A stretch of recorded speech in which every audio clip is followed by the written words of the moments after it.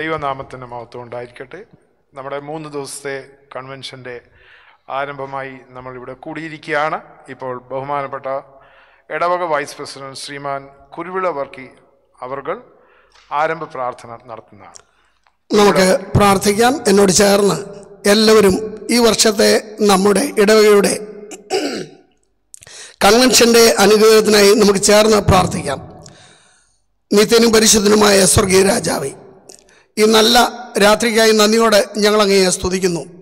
കർത്താവെ ഞങ്ങൾ പത്തൊൻപത് ഇരുപത് ഇരുപത്തൊന്ന് ദിവസങ്ങളെ അങ്ങയുടെ സന്നിധിയിൽ കൺവെൻഷനുമായി കടന്നു വരുമ്പോൾ ദൈവത്തിന്റെ വലിയൊരു പരിശുദ്ധാത്മ ശക്തി വ്യാപരിപ്പാൻ അപ്പച്ച അവിടുന്ന് ഞങ്ങളെ സഹായിക്കണമേ എന്ന് ഞങ്ങൾ അങ്ങയോട് യാചിക്കുന്നു. കർത്താവെ ഞങ്ങൾ അങ്ങയുടെ സന്നിധി കടന്നു വരുമ്പോൾ അങ്ങ് ഞങ്ങളോട് ചേർന്ന് വരുന്ന ദൈവമാകിയാൽ നന്ദിയോട് സ്തുതിക്കുന്നു. കർത്താവെ ഈ വർഷവും ഞങ്ങൾക്ക് സൂം പ്ലാറ്റ്ഫോമിൽ കൂടെ കൺവെൻഷൻ നടത്തുവാൻ സ്വർഗം തന്ന കൃപയ്ക്കായി നന്ദിയോട് നന്ദിയോടെ ഞങ്ങൾ അങ്ങയെ സ്തുതിക്കുന്നു. കർത്താവെ ഇന്ന് വചനവുമായി കടന്നു വരുന്ന ഷോജി വർഗീസ് അച്ഛനെ അപ്പച്ചന്റെ കരങ്ങളിലേക്ക് തരുന്നു. കർത്താവ് നിന്റെ മകനെ ക്രൂശന്റെ മറവിൽ മറക്കണം. കർത്താവെ ഒരു മാനുഷിക ശബ്ദമല്ല. സ്വർഗീയ ശബ്ദം കേൾപ്പാൻ തക്കവണ്ണം സ്വർഗത്തിലെ കർത്താവ് ഞങ്ങളെ ഇടയാക്കണമേ എന്ന് ഞങ്ങൾ അങ്ങയോട് യാചിക്കുന്ന അപ്പച്ച. മുട്ടുപീൻ തുറക്കപ്പെടും മനുഷ്യപ്പീൻ കണ്ടെത്തും. യാചിപ്പീൻ എന്നാൽ നിങ്ങൾക്ക് ലഭിക്കുമെന്ന് അങ്ങയുടെ വാഗ്ദത്തം ഞങ്ങൾ തന്നിരിക്കുമ്പോൾ ഞങ്ങൾ അങ്ങയുടെ സന്നിധിയിൽ നിത്യം അനുനിമിഷം മുട്ടുന്നവരാക്കി ഞങ്ങളെ തീർക്കണമേ എന്ന് പ്രാർത്ഥിക്കുന്നു. കർത്താവെ ഞങ്ങൾക്കാർക്കും പുകഴുവാൻ ഒന്നുമില്ല പ്രശംസിപ്പാൻ ഒന്നുമില്ല. ഞങ്ങൾക്കൊരു പുകഴ്ച ഉണ്ടെങ്കിൽ യേശു മാത്രമെന്ന് പറയുവാൻ ഞങ്ങളെയൊക്കെ അവിടുന്ന് സഹായിക്കണമേ എന്ന് പ്രാർത്ഥിക്കുന്നു. അച്ഛനെ ക്രൂശിന്റെ മറവിൽ മറച്ച് പരിപാലിക്കണമേ. നാളെ മെസ്സേജുമായി കടന്നു വരുന്ന കർത്താവെ ലിജു രാജു അച്ഛനെ ഞങ്ങളുടെ കരങ്ങളിലേക്ക് തരുന്നു. യേശു മാനിച്ച പരിപാലിക്കണം. കർത്താവെ നാളെ കഴുകിയ മെസ്സേജുമായി കടന്നു വരുന്ന കെ എസ് മാത്യു അച്ഛനെ അപ്പച്ചന്റെ കരങ്ങളിലേക്ക് തരുന്നു. കർത്താവിന്റെ കൃപ ഈ മൂവരിലും വ്യാപരിക്കണമേ. പരിശുദ്ധാത്മാവിന്റെ ഒരു വലിയ വ്യാപാരം ഞങ്ങൾ കാണുവാൻ അവിടുന്ന് സഹായിക്കണം.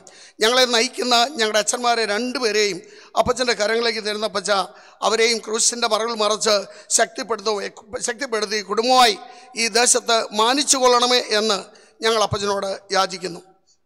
ഇന്ന് വിവിധ ശുശ്രൂഷകൾ ചെയ്യുന്ന എല്ലാവരെയും അവിടുന്ന് മാനിക്കണം ക്രൂശിന്റെ പറവ് മറക്കണം. കർത്താവെ ഇതൊക്കെ അങ്ങയുടെ നാമമഹത്വത്തിനായി തീരുവാൻ അപ്പച്ചന് ഞങ്ങളോട് കൃപ തോന്നണമേ എന്ന് പ്രാർത്ഥിക്കും ഞങ്ങൾ ആരും ഒന്നുമില്ലല്ലോ അപ്പച്ച. എന്നാൽ ഞങ്ങൾ എന്തെങ്കിലും ആയിരിക്കുന്നത് ദൈവത്തിന്റെ കൃപ കൊണ്ട് മാത്രമെന്ന് ചിന്തിപ്പാൻ ഞങ്ങളെ സഹായിക്കണം എന്ന് പ്രാർത്ഥിക്കുന്നു. കർത്താവെ ഇന്ന് പാട്ട് പാടുന്ന ഹാലൊരു സ്തോത്രം. കൊയറിനെ ഞങ്ങളുടെ കരങ്ങളിലേക്ക് തരുന്നു. ഹാലിയ മീഡിയ ടീമിനെ ഞങ്ങളുടെ കരങ്ങളിലേക്ക് തരുന്നു. കർത്താവെ എങ്ങും ഒരു കുറവ് ഒരു ഹാലലിയ പോരായ്മ സംഭവിക്കാൻ സ്വർഗം അനുവദിക്കരുത് എന്ന് പ്രാർത്ഥിക്കുന്നു കർത്താവെ. അങ്ങയുടെ മുഖത്തേക്ക് നോക്കിയവർ പ്രകാശിതരായി. അവരുടെ മുഖം ലജ്ജിക്കുവാൻ സ്വർഗം ആരെയും ഇടയാക്കിയിട്ടില്ല. കർത്താവെ ഇന്നത്തെ ദിവസം കർത്താവെ ഞങ്ങളുടെ പാപികൾക്ക് ഒരു മനസാന്തരവും പിന്മാറ്റക്കാർക്ക് ഒരു മടങ്ങിവരവും അല്ലിയ മദ്യപാനികൾക്ക് ഒരു രൂപാന്തരവും മാത്രമല്ല ഞങ്ങളുടെ രോഗികൾക്ക് ഒരു വലിയ സൗഖ്യവും ഉണ്ടാകുവാൻ എന്റെ കർത്താവ് ഞങ്ങളെ സഹായിക്കണം. മാറിപ്പോയി എന്റെ വേദന. ഹാലടിയ നീങ്ങിപ്പോയി. എന്റെ ഭാരങ്ങൾ സൗഖ്യമായി എന്റെ ആലുടിയ രോഗങ്ങളെന്ന് പറയുവാൻ സ്വർഗമേ ഞങ്ങളെ സഹായിക്കണമേ എന്ന് പ്രാർത്ഥിക്കും സൈന്യത്താലും അല്ല ശക്തിയാലും അല്ല ദൈവത്തിന്റെ ആത്മാവ് ഇവിടെ വ്യാപരിപ്പാൻ തക്കവണ്ണം ഈ മൂന്ന് ദിവസവും സ്വർഗം സഹായിക്കണമേ. എങ്ങും ഒരു ഹാലടിയ പാളിച്ച പറ്റുവാനോ ഒരു പോരായ്മ പറ്റുവാനോ സ്വർഗം അനുവദിക്കരുതേ എന്ന് പ്രാർത്ഥിക്കുന്നു. അങ്ങടെ കരങ്ങളിൽ ഞങ്ങളെ ഏവരെയും താഴ്ത്തുന്നു. മാനവും മഹത്വം എടുക്കണം. യേശുവിന്റെ വലിയ നാമത്തിൽ തന്നെ ആമീൻ.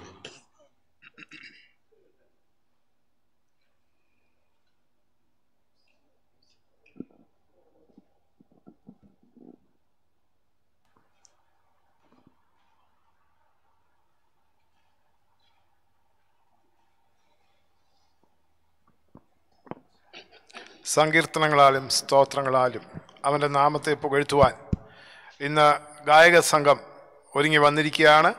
ആരംഭമായിട്ട് രണ്ട് ഗീതങ്ങൾ ആലപിക്കുവാൻ ഇടവക ഗായക സംഘത്തെ ക്ഷണിക്കുന്നു.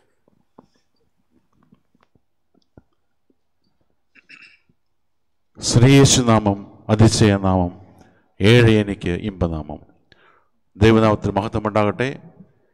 ബഹ്റിൻ മർത്തുമ ഇടവകയുടെ രണ്ടായിരത്തി ഇരുപത്തൊന്ന് കൺവെൻഷന്റെ പ്രാരംഭ യോഗത്തിലേക്ക് ഗാനശുശ്രൂഷ ആരംഭിക്കുന്നു. ബഹ്റൈൻ കൺവെൻഷൻ ഗീതങ്ങൾ ഇരുന്നൂറ്റി മുപ്പത്തിനാലാമത്തെ പാട്ട് ശ്രീയേശുനാമം അതിശയനാമം നമുക്കേവർക്കും ആയിരിക്കുന്ന സാഹചര്യത്തിൽ കൈയടിച്ച് ദൈവത്തെ പാടി മഹത്വപ്പെടുത്താം.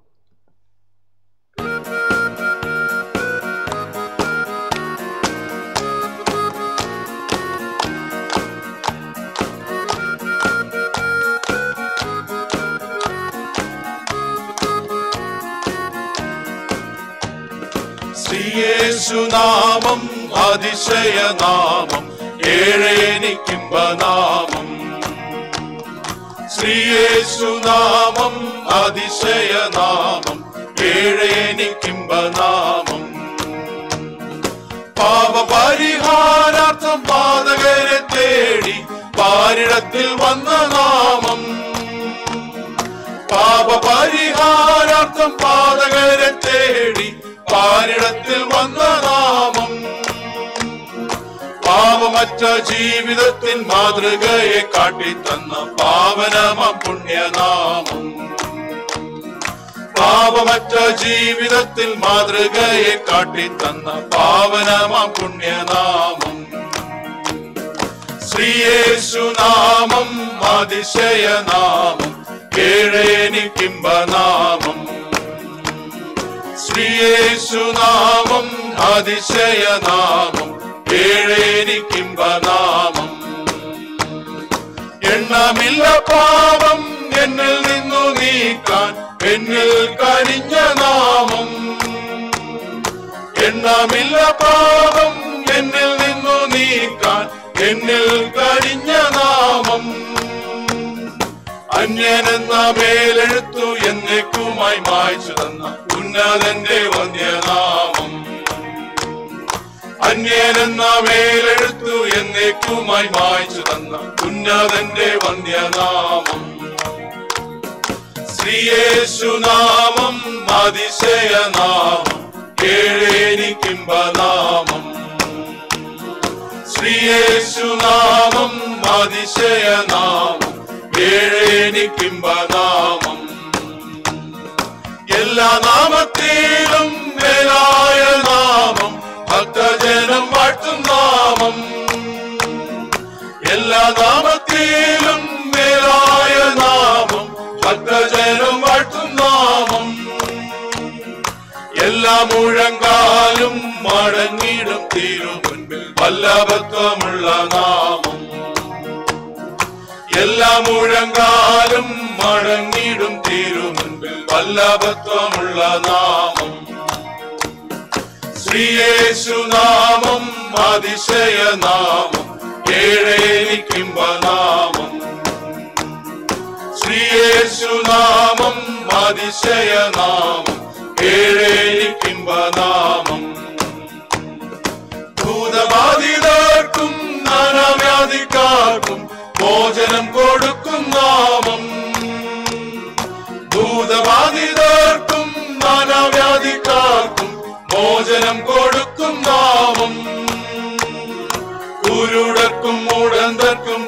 കുഷ്ഠരോഗികൾക്കുമെല്ലാം വിടുതൽ നൽകും നാമം.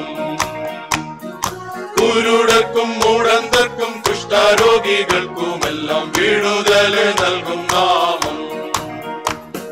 ശ്രീയേശുനാമം അതിശയനാമം ഏഴേനിക്കിമ്പനാമം ശ്രീയേശുനാമം അതിശയനാമം ഏഴേനിക്കിമ്പനാമം song song number one seventy two അടവി തരുക്കിനിടയിൽ.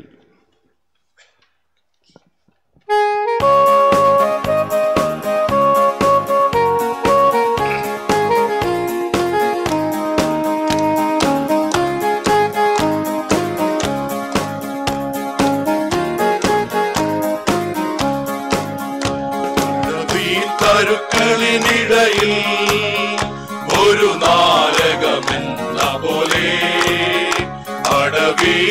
തരുക്കളിനിടയിൽ ഒരു നാരകമെന്ന പോലെ വിശുദ്ധരിൻ നടുവിൽ കാണുന്നേ അതിശ്രേഷ്ഠനേശുവിനെ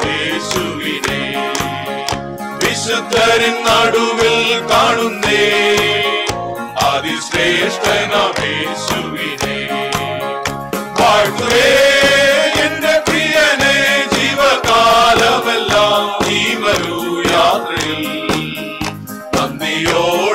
നന്ദിയോടെ ഞാൻ പാടിടുമേ നന്ദിയോടെ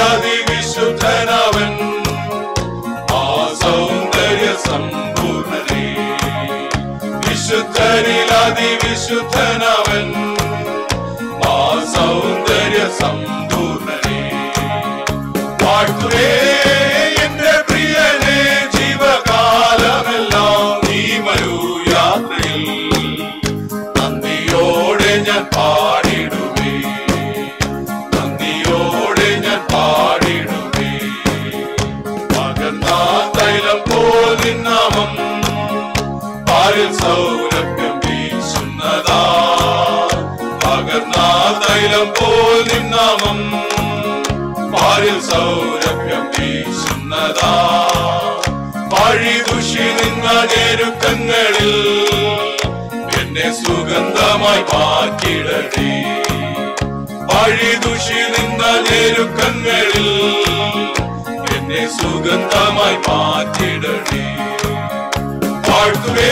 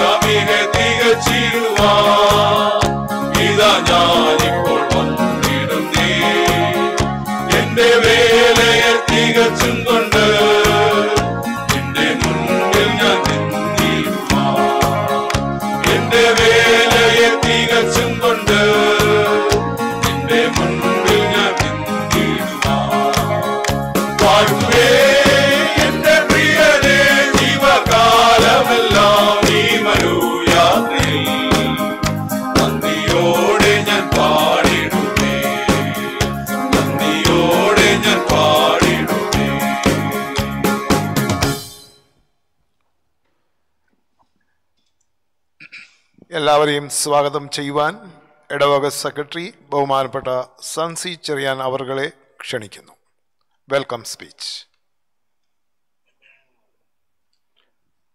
intercession Srimathi Mrs Meenu Philip. Mrs Meenu Philip.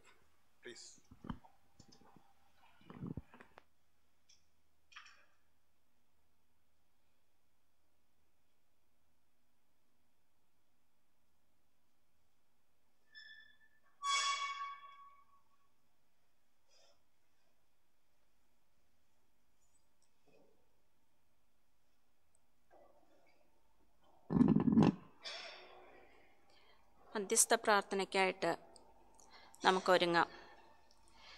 സങ്കീർത്തനം എൺപത് വായിച്ച് നമുക്ക് പ്രാർത്ഥനയ്ക്കായിട്ട് ഒരുങ്ങാം. ആട്ടിൻകൂട്ടത്തെ പോലെ യോസഫിനെ നടത്തുന്നവനായി ഇസ്രായേലിന്റെ ഇടയനായുള്ളവയെ ചെവിക്കൊള്ളണമേ. കെരുവുകളിന്മേൽ അധിവസിക്കുന്നവനെ പ്രകാശിക്കണമേ. എഫ്രൈമും ബെന്യാമും മനശ്ശയും കാണുകെ. നിന്റെ വീര്യബലം ഉണർത്തി ഞങ്ങളുടെ രക്ഷയ്ക്കായി വരേണമേ. ദൈവമേ ഞങ്ങളെ യഥാസ്ഥാനപ്പെടുത്തണമേ. ഞങ്ങൾ രക്ഷപ്പെടേണ്ടതിന് തിരുമുഖം പ്രകാശിപ്പിക്കണമേ. സൈന്യങ്ങളുടെ ദൈവമായ ഹോവേ നീ നിന്റെ ജനത്തിന്റെ പ്രാർത്ഥനയ്ക്ക് നേരെ എത്രത്തോളം കോപിക്കും? നീ അവർക്ക് കണ്ണുനീരിന്റെ അപ്പം തിന്മാൻ കൊടുത്തിരിക്കുന്നു. അനവധി കണ്ണുനീർ അവർക്ക് കുടിപ്പാനും കൊടുത്തിരിക്കുന്നു. നീ ഞങ്ങളെ ഞങ്ങളുടെ അയൽക്കാർക്ക് വഴക്കായി തീർക്കുന്നു. ഞങ്ങളുടെ ശത്രുക്കൾ തമ്മിൽ പറഞ്ഞ് പരിഹസിക്കുന്നു. സൈന്യങ്ങളുടെ ദൈവമേ ഞങ്ങളെ യഥാസ്ഥാനപ്പെടുത്തണമേ. ഞങ്ങൾ രക്ഷപ്പെടേണ്ടതിന് തിരുമുഖം പ്രകാശിപ്പിക്കണമേ. നീ മിശ്രമിൽ നിന്ന് ഒരു മുന്തിരിവള്ളി കൊണ്ടുവന്നു ജാതികളെ നീക്കിക്കളഞ്ഞ് അതിനെ നട്ടു. നീ അതിനെ തടമെടുത്തു അത് വേരൂന്നി ദേശത്ത് പടർന്നു. അതിന്റെ നിഴൽ കൊണ്ട് പർവതങ്ങൾ മൂടിയിരുന്നു അതിന്റെ കൊമ്പുകൾ ദിവ്യദേവാരത ദിവ്യദേവദാരുക്കൾ പോലെയുമായിരുന്നു. അത് കൊമ്പുകളെ സമുദ്രം വരെയും ചില്ലുകളെ നദി വരെയും നീട്ടിയിരുന്നു. വഴി പോകുന്നവരൊക്കെയും അതിനെ പറപ്പാൻ പറിപ്പാൻ തക്കവണ്ണം നീ അതിന്റെ വേലികളെ പൊളിച്ചു കളഞ്ഞതെന്ത്? കാട്ടുപന്നി അതിനെ മാന്തിക്കളയുന്നു വയലിലെ മൃഗങ്ങൾ അത് തിന്നുകളയുന്നു. സൈന്യങ്ങളുടെ ദൈവമേ തിരിഞ്ഞു വരേണമേ സ്വർഗത്തു നിന്ന് നോക്കി കടാക്ഷിച്ച് ഈ മുന്തിരിവള്ളിയെ സന്ദർശിക്കണമേ. നിന്റെ വലങ്കയെ നട്ടിട്ടുള്ളതിനെയും നീ നിനക്കായി വളർത്തിയ തയ്യേയും പാലിക്കണമേ.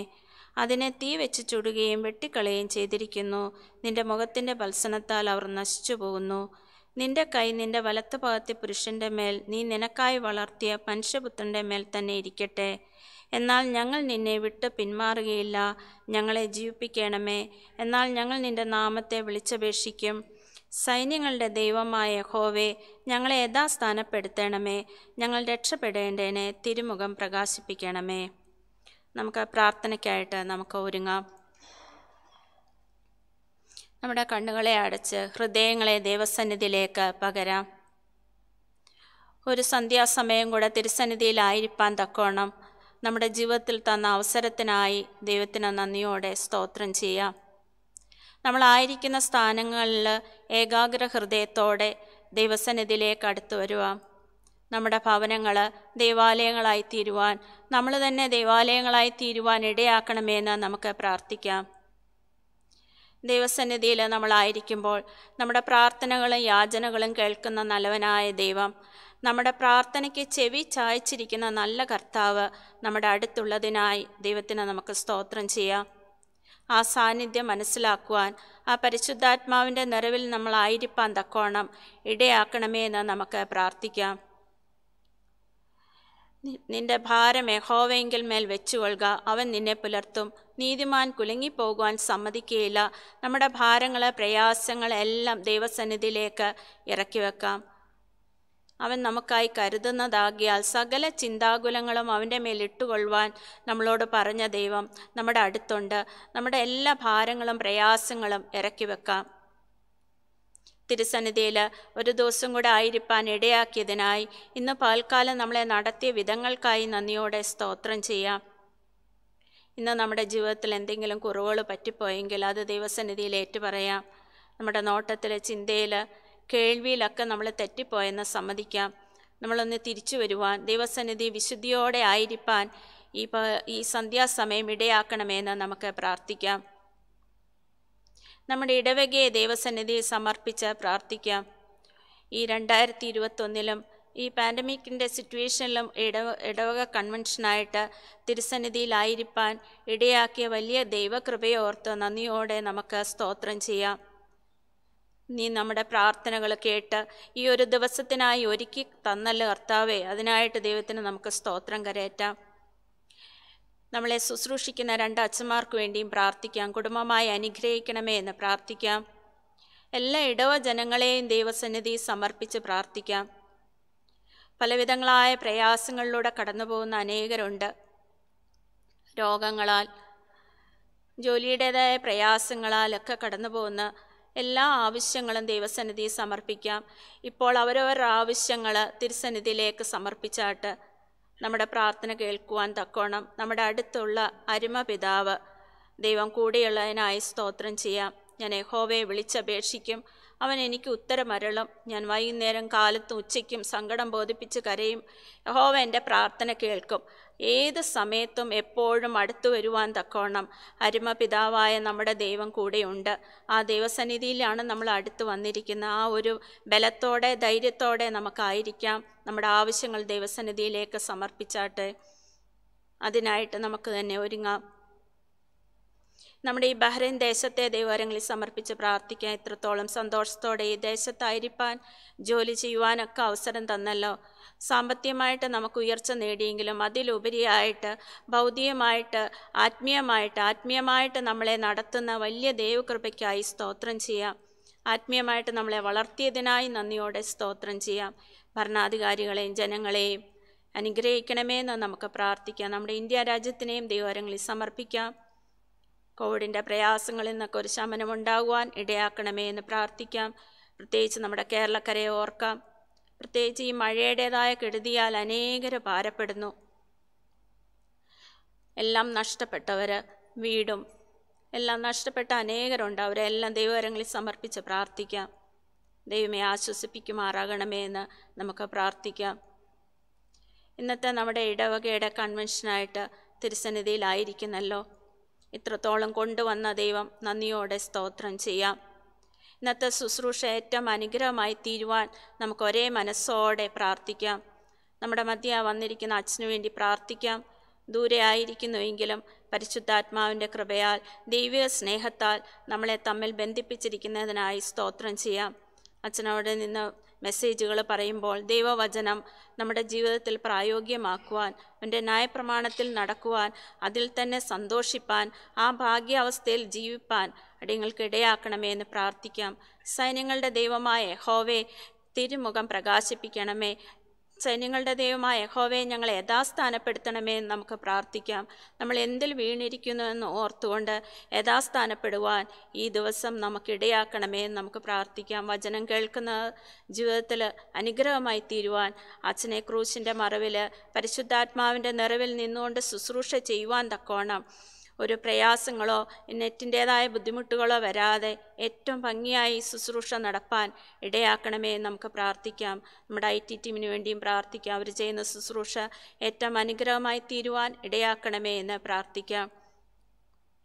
എല്ലാം സമർപ്പിച്ചുകൊണ്ട് നമുക്ക് ഏക മനസ്സോടെ ദൈവസന്നിധിയിൽ സമർപ്പിച്ച് പ്രാർത്ഥിക്കാം. ഹാലേലുയ. സ്തോത്രം സ്തോത്രം സ്തോത്രം സ്തോത്രം. സ്നേഹവാനായ ദൈവമേ സ്വർഗീയ പിതാവേ ഞാൻ എന്റെ കണ്ണ പർവതങ്ങളിലേക്ക് ഉയർത്തുന്നു. എനിക്ക് സഹായം എവിടെ നിന്ന് വരുന്നു?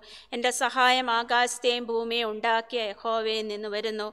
ഇസ്രായേലിന്റെ പരിപാലകൻ മയങ്ങാതെ ഉറങ്ങാതെ ഞങ്ങളുടെ ഗമനത്തെയും ആഗമനത്തെയും ഇന്നു മുതൽ എന്നേക്കും പരിപാലിക്കുന്നവനായ കർത്താവിന്റെ സന്നിധിയിൽ ഞങ്ങളിതാ അടുത്ത് വന്നിരിക്കുന്നു കർത്താവെ. ഞങ്ങളുടെ ഉള്ള അവസ്ഥ അറിയുന്നവനായ ദൈവം കർത്താവെ ഞങ്ങളുടെ ഇടവകയെ അനുഗ്രഹിക്കണമേ. എന്ന് പ്രാർത്ഥിക്കുന്നു. ഞങ്ങളുടെ അച്ഛന്മാരെ നീ അനുഗ്രഹിക്കണമേ കുടുംബമായി അനുഗ്രഹിക്കണമേ എന്ന് പ്രാർത്ഥിക്കുന്നു. ഞങ്ങളുടെ ഇടവ ജനങ്ങളെ എല്ലാവരെയും ഓർത്ത് പ്രാർത്ഥിക്കുന്ന കർത്താവേ രോഗങ്ങളിൽ കൂടെ കടന്നു പോകുന്നവരുണ്ട് കർത്താവേ. ഇന്നത് അവർക്ക് ആശ്വാസത്തിനും വിടുതലിനും ആക്കി തീർക്കുമാറാകണമേ. വേർപാടിന്റെ ദുഃഖത്തിൽ കൂടെ കടന്നു പോകുന്നവരുണ്ട് കർത്താവേ. അവർക്ക് നീ സമാധാനം സ്വർഗീയ സമാധാനത്താൽ നിറച്ചു കൊള്ളുമാറാകണമെന്ന് പ്രാർത്ഥിക്കുന്നു കർത്താവെ. അനേകം ജോലിയുടേതായ ബുദ്ധിമുട്ടുകളിൽ ശമ്പളത്തിന്റെതായ പ്രയാ ശമ്പളം കിട്ടാതെ വിഷമിക്കുന്നവർ ജോലി കിട്ടാതെ വിഷമിക്കുന്നവർ അങ്ങനെ അനേക ഭാരങ്ങളിലൂടെ ഈ ദിവസങ്ങളിൽ കടന്നു പോകുന്ന അനേക ഇടവ ജനങ്ങളുണ്ട് കർത്താവെ. ഞങ്ങൾ അവരെല്ലാം ദൈവസന്നിധി സമർപ്പിച്ച് പ്രാർത്ഥിക്കുകയാണ് കർത്താവെ. നീ കരുണ തോന്നുന്ന ദൈവമാകിയാൽ സ്തോത്രം. യഹോവ നല്ലവനാണ് കർത്താവെ. കഷ്ട ദിവസത്തിൽ ഞങ്ങളുടെ ശരണമാണ് കർത്താവെ. തങ്ങൾ ആശ്രയിക്കുന്നവനെ അവൻ അറിയുന്ന ദൈവമാണ് കർത്താവെ. ആ അറിയുന്ന ഞങ്ങളെ അറിയുന്നവനായ ദൈവം ഞങ്ങളുടെ ശരണവും ഞങ്ങളുടെ കോട്ടയും ഞങ്ങളുടെ പാറയുമായ ദൈവമേ നിന്റെ സന്നിധിയിലേക്ക് ഞങ്ങൾ ഇതാ അടുത്ത് വന്നിരിക്കുന്ന കർത്താവേ. ഞങ്ങളെ നീ അനുഗ്രഹിക്കുമാറാകണമേ. ഞങ്ങളെ യഥാസ്ഥാനപ്പെടുത്തുമാറാകണമേ. തിരുമുഖം ഞങ്ങളിമേ പ്രകാശിപ്പിക്കുമാറാകണമേ എന്ന് പ്രാർത്ഥിക്കുന്ന കർത്താവേ. ഞങ്ങളുടെ ഇന്നത്തെ കൺവെൻഷൻ യോഗം വചന ശുശ്രൂഷ ഏറ്റവും അനുഗ്രഹമായി തീരുവാൻ ഞങ്ങളുടെ ജീവിതത്തിൽ കർത്താവെ അത് പ്രയോജനപ്പെടുവാൻ ഇടയാക്കണമേ എന്ന് പ്രാർത്ഥിക്കുന്ന കർത്താവേ. അതിന്റെ കർത്താവെ അച്ഛനെ നീ ബലപ്പെടുത്തണമേ പരിശുദ്ധാത്മാവിന്റെ നിറവിൽ നിന്നുകൊണ്ട് പറയുവാൻ അത് ഞങ്ങൾ അതുപോലെ ഉൾക്കൊള്ളുവാൻ ഇടയാക്കണമേ. ഞങ്ങൾ ദൂരസ്ഥരാണ് കർത്താവെ. എന്നാലും ദൈവീയ സ്നേഹത്താൽ ഞങ്ങളെ തമ്മിൽ ബന്ധിപ്പിച്ചിരിക്കുന്നതിനായി നന്ദിയോടെ സ്തോത്രം ചെയ്യുന്നു. അച്ഛന്റെ ശുശ്രൂഷകളെ നീ അനുഗ്രഹിക്കണമേ. കുടുംബമായി നീ അനുഗ്രഹിക്കണമേ എന്ന് പ്രാർത്ഥിക്കുന്നു കർത്താവെ. ഞങ്ങളുടെ ഇടവകയിലെ അച്ഛന്മാരെയും നീ അനുഗ്രഹിക്കണമേ. ഇതിന്റെ പുറയിൽ പ്രവർത്തിക്കുന്ന എല്ലാവരെയും ഇടവകയുടെ എല്ലാ ശുശ്രൂഷ ചെയ്യുന്ന എല്ലാവരെയും നീ അനുഗ്രഹിക്കണമേ എന്ന് പ്രാർത്ഥിക്കുന്നു. കർത്താവെ ഞങ്ങൾ നിന്റെ സന്നിധിയിലേക്ക് അടുത്ത് വന്നിരിക്കുന്നു. നീ ഞങ്ങളോട് കട സ്നേഹത്തോടെ നീ ദർശിക്കുമാറാകണമേ എന്ന് പ്രാർത്ഥിക്കുന്നു. നീ ഞങ്ങളെ സന്ദർശിക്കുമാറാകണമേ എന്ന് പ്രാർത്ഥിക്കുന്നു കർത്താവെ. ഞങ്ങൾ തിരുവചനത്തിന് മുമ്പാകെ ഇരിക്കുന്നു. നീ ഞങ്ങളോട് സംസാരിച്ച് എല്ലാ ശുശ്രൂഷയും ഏറ്റവും ഭംഗിയായി തീർക്കണമെന്ന് പ്രാർത്ഥിക്കുന്നു. മാനോ മഹത്വം അവിടെ തന്നെ എടുക്കണമേ. യേശു ക്രിസ്തുവിന്റെ വിലയേറെ നാമത്തിന് അപേക്ഷിക്കുന്നു. ദയോടെ കേൾക്കുമാറാകണമേ. ആമേൻ. സ്വാഗതം. അരുളാൻ വേണ്ടി ഇടവക സെക്രട്ടറി ശ്രീമാൻ സൻസി ചെറിയാൻ അവരെ ക്ഷണിച്ചോളൂ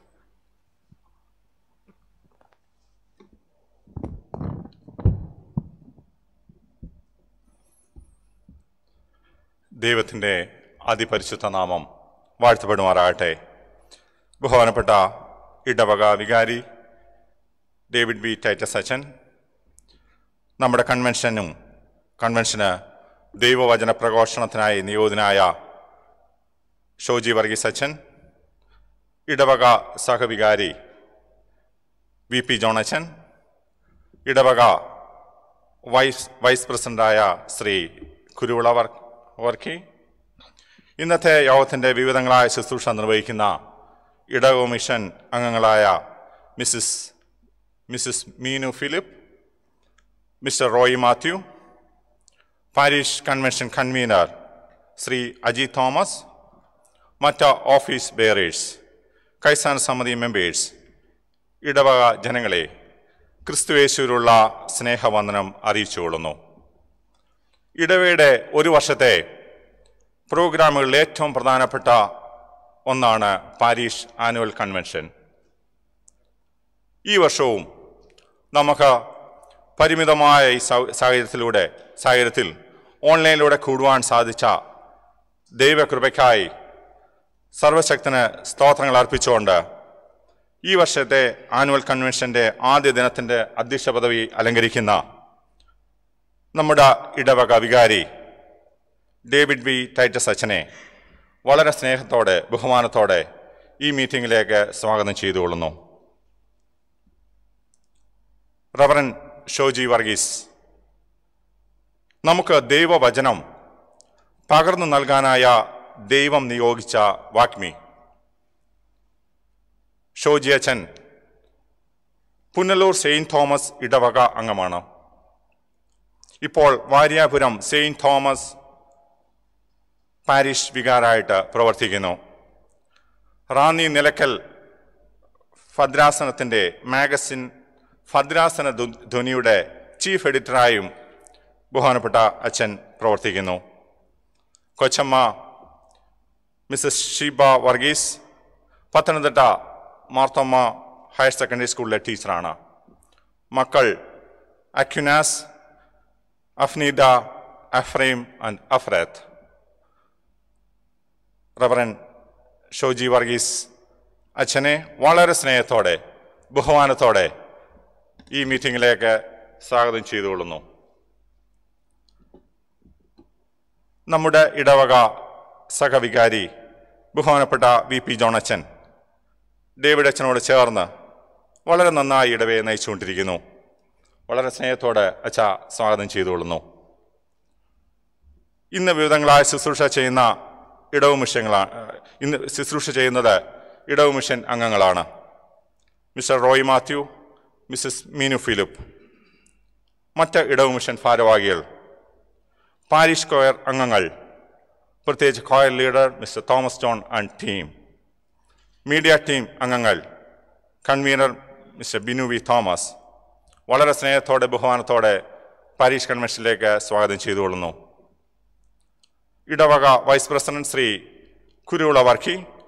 ട്രസ്റ്റിമാരായ Shri Biju Kunjachan Shri Alexander Thomas ലേമിൻസ്റ്റൺ Mr Sunil John and Mr George Koshy മണ്ഡലം മെമ്പേഴ്സ് അസംബ്ലി മെമ്പേഴ്സ് മറ്റ് കൈസാന സമിതി മെമ്പേഴ്സ് ഇടവക പോഷക സംഘടനാ ഭാരവാഹികൾ ഇടവക അംഗങ്ങൾ സഹോദരി സഭയിലെ അംഗങ്ങൾ എല്ലാവരെയും ഒറ്റ വാക്കിൽ സ്വാഗതം ചെയ്തുകൊണ്ട് ഞാൻ എന്റെ ശുശ്രൂഷയിൽ നിന്ന് വിരമിക്കുന്നു.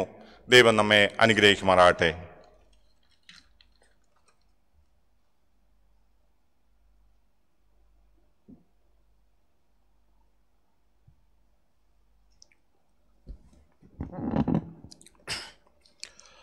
ദൈവനാമത്തിന് മഹത്വം ഉണ്ടായിരിക്കട്ടെ ബഹ്റിൻ മാർത്തോമ ഇടവകയെ സംബന്ധിച്ച് വർഷത്തിൽ ഒരിക്കൽ ദൈവവചനത്തിന് മുൻപാകെ വിനയപ്പെടുവാനും ദൈവസന്നിധിയിൽ മാനസാന്തരപ്പെടുവാനും പുതിയ തീരുമാനങ്ങളോടുകൂടി ക്രിസ്തീയ സാക്ഷ്യം നിർവഹിക്കുവാൻ ഇടവക ജനങ്ങളെ ഇടയാക്കുന്ന വചന ശുശ്രൂഷകൾ കഴിഞ്ഞ നാളുകളിൽ നിർബാധമായി ദൈവം നമുക്ക് നൽകിക്കൊണ്ടിരിക്കുന്ന ഓർത്ത് ഞാൻ ദൈവത്തെ സ്തുതിക്കുകയാണ്. ബഹുമാനപ്പെട്ട വി പി ജോണച്ചൻ ബഹുമാനപ്പെട്ട ഇടവക വൈസ് പ്രസിഡന്റ് ശ്രീമാൻ കുരുളാങ്കിൾ ഇടവക ട്രസ്റ്റിമാർ ഇടവക സെക്രട്ടറി ശ്രീമാൻ സൻസി ഇവിടെ സന്നിധരായിരിക്കുന്ന ഗായക സംഘാംഗങ്ങൾ ഇടവ മിഷന്റെ വിഭിന്ന കാര്യങ്ങളിൽ നേതൃത്വം നൽകുന്ന ബഹുമാനപ്പെട്ട ഇടവ മിഷൻ അംഗങ്ങൾ മീഡിയ ടീം. ഇന്ന് ഈ സംപ്രേഷണം കാണുന്ന ബഹ്റൈനിലെ ഇടവക ജനം സെന്റ് പോൾസ് ഇടവകയിലെ ജനങ്ങൾ ലോകത്ത് പല ഭാഗങ്ങളിലായിട്ട് ഈ യൂട്യൂബ് ലിങ്ക് മുഖാന്തരം ഒക്കെയും ഇതിൽ സന്നിധരായിരിക്കുന്ന എല്ലാവർക്കും നമ്മുടെ കർത്താവായ യേശു ക്രിസ്തുവിന്റെ നാമത്തിൽ സ്നേഹവന്ദനം അറിയിക്കുന്നു. ഞാൻ എന്റെ കർത്തവ്യത്തിലേക്ക് പ്രവേശിക്കുവാൻ ആഗ്രഹിക്കുകയാണ്. ഇന്ന് നമ്മളുടെ ഈ കൺവെൻഷന്റെ ആരംഭ ദിവസം നമ്മളോട് വചനത്തിൽ നിന്ന് സംസാരിക്കുന്നത് പ്രിയപ്പെട്ട ഷോജി വർഗീസ് അച്ഛനാണ്. എന്റെ ഒരു അൺഫോർച്ചുനേറ്റ് ആയിട്ടുള്ള ഒരു കഴിഞ്ഞ കാലം പരിശോധിച്ച് നോക്കുമ്പോൾ പ്രിയപ്പെട്ട അച്ഛനെ എനിക്ക് നേരിട്ട് കാണുവാൻ സാധിച്ചില്ല. ക്ലർജി കോൺഫറൻസിലൊക്കെ പോകുമ്പോൾ അങ്ങൊന്നും ഇങ്ങൊന്നും ഒക്കെ ചെറുപ്പക്കാർ അച്ഛന്മാരുടെ കൂടെ നടക്കുന്നതൊക്കെ അച്ഛനെ കണ്ടിട്ടുണ്ട്. എന്റെ അടുക്കെ നിൽക്കുന്ന അച്ഛന്മാർ പറയും തെളിഞ്ഞു വരുന്ന ഒരു കൺവെൻഷൻ പ്രാസംഗികനാണ്. എന്നാൽ ഞാനിരുന്ന ഇടവകളിൽ പ്രിയപ്പെട്ട അച്ഛനെ എനിക്ക് ക്ഷണിക്കുവാൻ സാധിച്ചില്ല എന്നുവരികിൽ തന്നെയും യൂട്യൂബിലൂടെ പ്രിയപ്പെട്ട അച്ഛന്റെ പ്രസംഗങ്ങൾ ഞാൻ പലപ്പോഴും കേൾക്കാറുണ്ട്. വളരെ ഊർജസ്വലതയുള്ള ഒരു പട്ടക്കാരൻ. അത് കൺവെൻഷൻ പ്രാസംഗികൻ മാത്രമല്ല തന്റെ ഇടവകയിലും ഏൽപ്പിക്കുന്ന കാര്യങ്ങളിൽ വളരെ വ്യത്യസ്തമായ ഒരു രീതിയിൽ ശുശ്രൂഷകൾ ചെയ്യുന്ന ബഹുമാനപ്പെട്ട അച്ഛനും കൊച്ചമ്മയും. കുടുംബമായിട്ട് സഭയുടെ ശുശ്രൂഷയിലായിരിക്കുന്നത് ഓർത്ത് ഞാൻ ദൈവത്തെ സ്തുതിക്കുകയാണ്. ഇന്നത്തെ നമ്മുടെ വചന ശുശ്രൂഷയ്ക്ക് വേണ്ടി പ്രിയപ്പെട്ട അച്ഛൻ തനീതനാണ്. അദ്ദേഹം ഈ കോവിഡ് കാലം ആയതുകൊണ്ട് ഫിസിക്കലി അല്ല വെർച്വലി നമ്മളോട് വചനത്തിൽ നിന്ന് സംസാരിക്കുന്നതാണ്. ഒന്ന് രണ്ട് കാര്യങ്ങൾ ഞാൻ നിങ്ങളുടെ ആലോചനയ്ക്ക് ഈ വചനത്തിലേക്ക് പ്രവേശിക്കുവാൻ തക്കവണ്ണം ഇവിടെ പ്രസ്താവിക്കുവാൻ ആഗ്രഹിക്കുകയാണ്. അൻപത്തൊന്നാം സങ്കീർത്തനം നമ്മൾ വായിക്കുമ്പോൾ പാപിയായ ദാവീദ് തന്റെ പാപത്തെപ്പറ്റി ബോധ്യം വന്ന് ദൈവസന്നിധിയിൽ ദൈവത്തോട് കരുണ യാചിക്കുന്ന ഒരു ദാവീദിനെയാണ് നമുക്ക് കാണുവാൻ സാധിക്കുന്നത്. ഈ സോപ്പ് കൊണ്ട് എന്റെ മേൽ തളിക്കണമേ ഞാൻ നിർമ്മലനാകും. ഹിമത്തേക്കാൾ ഞാൻ വെണ്മയുള്ളവനാകും എന്നൊക്കെ ദാവീദ് പറയുമ്പോൾ തന്നെ ഈ സങ്കീർത്തനത്തിൽ ക്രിസ്തീയ ജീവിതത്തിൽ നമ്മളെ വലിയൊരു ചുമതലയിലേക്ക് പ്രവേശിപ്പിക്കുന്നത് പലപ്പോഴും നമ്മൾ ശ്രദ്ധിക്കാതെ പോകുന്നു. അൻപത്തൊന്നാം സങ്കീർത്തനത്തിന്റെ പന്ത്രണ്ടാമത്തെ വാക്യം നിന്റെ രക്ഷയുടെ സന്തോഷം എനിക്ക് തിരികെ തരണമേ.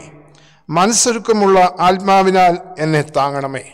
പതിമൂന്ന് അപ്പോൾ ഞാൻ അതിക്രമക്കാരോട് നിന്റെ വഴികളെ ഉപദേശിക്കും. പാപികൾ നിങ്കിലേക്ക് മനം തിരിയും. സങ്കരൻകോവിൽ എന്റെ അമ്മയുടെ സഹോദരൻ പഠിപ്പിച്ചുകൊണ്ടിരിക്കുന്ന കാലഘട്ടത്തിൽ അവിടെ പോകുന്ന അവസരത്തിൽ ഞാനൊരു കാഴ്ച കണ്ടു. അവിടെ മുനിസിപ്പാലിറ്റി വകയായിട്ടുള്ള പൈപ്പിന്റെ മുൻപിൽ തമിഴ്നാട്ടുകാർ ഉപയോഗിക്കുന്ന പല നിറത്തിലുള്ള കലങ്ങൾ ഇങ്ങനെ അടുക്കി വച്ചിരിക്കുക. അങ്ങനെ മൂന്നാമത്തെ ഊഴത്തിൽ നിൽക്കുന്ന സ്ത്രീ തന്റെ കലം എടുത്ത് പുറയിലിരിക്കുന്ന സ്ത്രീയുടെ കലം കൂടെ തന്റെ കലത്തിന്റെ ചുവട്ടിൽ വെച്ചിട്ട് ആ കലം വെച്ചു. ആ ടാപ്പിൽ നിന്ന് വെള്ളം വന്നു.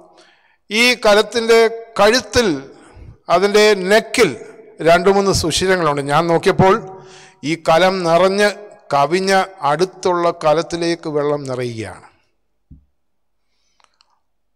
ആ ആത്മീയ സത്യമാണ് ഈ കൺവെൻഷനിലൂടെ നമുക്ക് അനുവർത്തമാക്കേണ്ടത്. മനസ്സൊരുക്കമുള്ള ആത്മാവ് ആ കലമാണ്.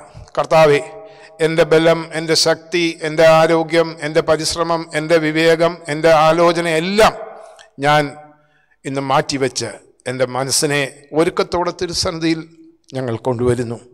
ഇതിലേക്ക് നിന്റെ വചനത്തിന്റെ മാരി നീ നിറയ്ക്കണമേ. അത് നിറഞ്ഞു കഴിഞ്ഞാൽ അത് അവിടെ സ്റ്റാഗ്നന്റായിട്ട് പോകാതെ ഈ തമിഴ് സ്ത്രീ അടുത്ത ആളുടെ കലത്തേക്ക് കലത്തിലേക്ക് ഒഴുകുവാൻ അനുവദിക്കുന്ന ആ വലിയ സുവിശേഷ വേലക്കാരായി നമ്മൾ തീരുമ്പോഴാണ് ഈ കൺവെൻഷന്റെ പ്രയോജനം.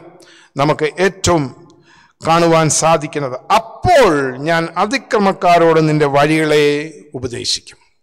ഇന്ന് വചനം നമ്മുടെ മനസ്സിനെ നിറയ്ക്കുമ്പോൾ നമ്മളെ പാപത്തിൽ നിന്ന് പിന്തിരിയുവാൻ പ്രേരിപ്പിക്കുമ്പോൾ അറിവിന്റെ ഒരു ശേഖരണമല്ല തിരിച്ചറിവിന്റെ ഒരു ആഘോഷം നമ്മുടെ ഹൃദയത്തിലുണ്ടാകുമ്പോൾ നമ്മുടെ ചുറ്റുപാടുമുള്ള പാപികൾക്ക് നമ്മളൊരു സുവിശേഷ വേലക്കാരായി തീരുവാൻ ഈ കൺവെൻഷന്റെ വചനധ്യാനങ്ങൾ ഇടയാക്കട്ടെ പ്രിയപ്പെട്ട ഷോജി അച്ഛന് എല്ലാവിധമായ ആശംസകൾ അർപ്പിച്ചുകൊണ്ട് എന്റെ അധ്യക്ഷ പ്രസംഗത്തിൽ നിന്ന് ഞാൻ വിരമിക്കുകയാണ്. ദൈവത്തിന് മഹത്വം ഉണ്ടായിരിക്കട്ടെ. ഇപ്പോൾ ഗായിക സംഘം അടുത്ത ഗാനം ആലപിക്കുകയും തുടർന്നുള്ള പരിപാടികളിലേക്ക് നമ്മൾ പ്രവേശിക്കുന്നതാണ് പിതാവിന്റെയും പുത്രന്റെയും പരിശുദ്ധ നാമത്തിൽ ഈ പാരീഷ് കൺവെൻഷൻ ഇവിടെ ഉദ്ഘാടനം ചെയ്തതായി പ്രഖ്യാപിക്കുന്നു. Thank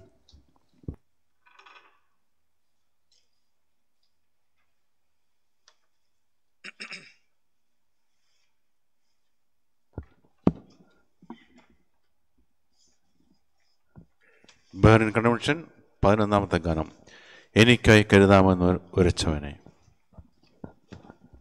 Thank you.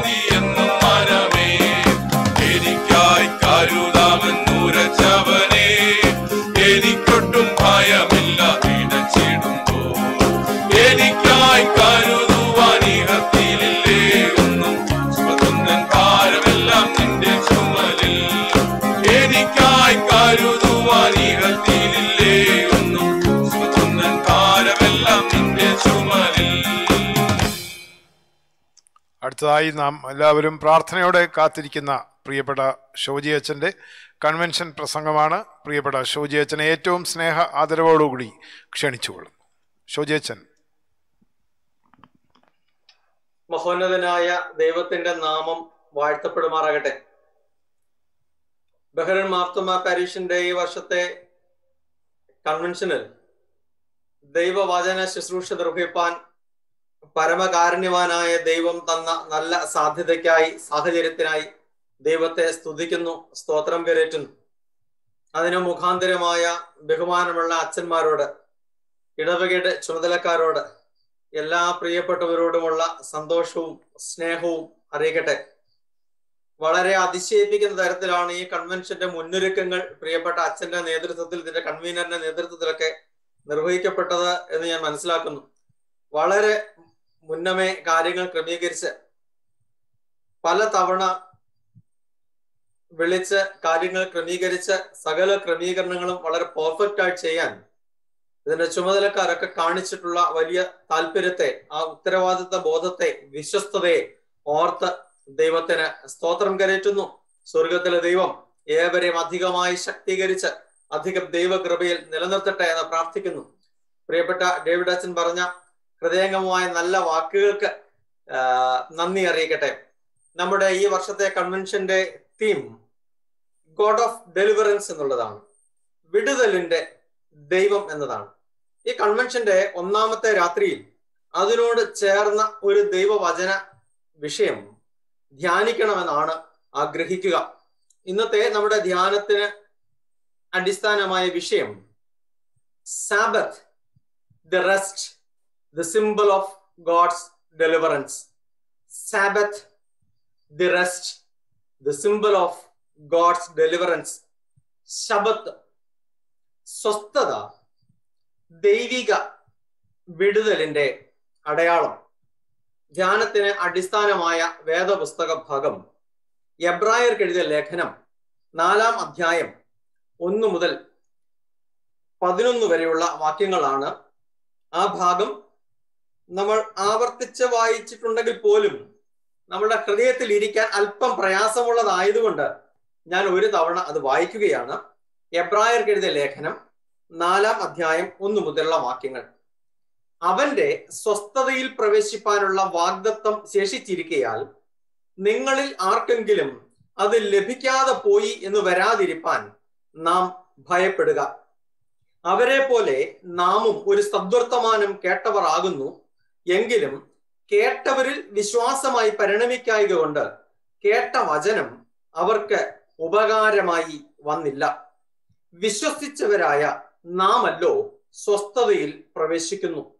ലോകസ്ഥാപനത്തിങ്കൽ പ്രവർത്തികൾ തീർന്നു പോയ ശേഷവും അവർ എന്റെ സ്വസ്ഥതയിൽ പ്രവേശിക്കയില്ല എന്ന് ഞാൻ എന്റെ കോപത്തിൽ സത്യം ചെയ്തു എന്ന് അരുളി ചെയ്തിരിക്കുന്നുവല്ലോ. ഏഴാം നാളിൽ ദൈവം തന്റെ സകല പ്രവൃത്തികളിൽ നിന്ന് നിവൃത്തനായി എന്ന് ഏഴാം നാളിനെ കുറിച്ച് ഒരിടത്ത് പറഞ്ഞിരിക്കുന്നു. എന്റെ സ്വസ്ഥതയിൽ അവർ പ്രവേശിക്കയില്ല എന്ന് ഇവിടെ പിന്നെയും അരുളി ചെയ്യുന്നു. അതുകൊണ്ട് ചില ചിലർ അതിൽ പ്രവേശിപ്പാൻ ഇട ശേഷിച്ചിരിക്കയാലും മുമ്പേ സദ്വർത്തമാനം കേട്ടവർ അനുസരണക്കേട് നിമിത്തം പ്രവേശിക്കാതെ പോകയാലും ഇത്ര കാലത്തിന്റെ ശേഷം ദാവീദ് മുഖാന്തിരം ഇന്ന് അവന്റെ ശബ്ദം കേൾക്കുന്നു എങ്കിൽ നിങ്ങളുടെ ഹൃദയം കഠിനമാക്കരുത് എന്ന് മുമ്പേ പറഞ്ഞതുപോലെ ഇന്ന് എന്നൊരു ദിവസം പിന്നെയും നിശ്ചയിക്കുന്നു.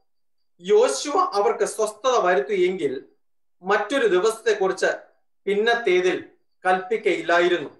ആകയാൽ ദൈവത്തിന്റെ ജനത്തിന് ഒരു ശബത്ത് അനുഭവം ശേഷിച്ചിരിക്കുന്നു.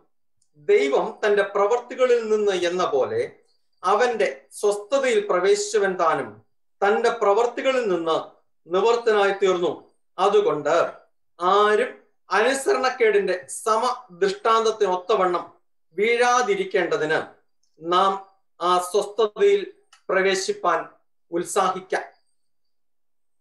നാലാം അധ്യായം മൂന്നാമത്തെ വാക്യം.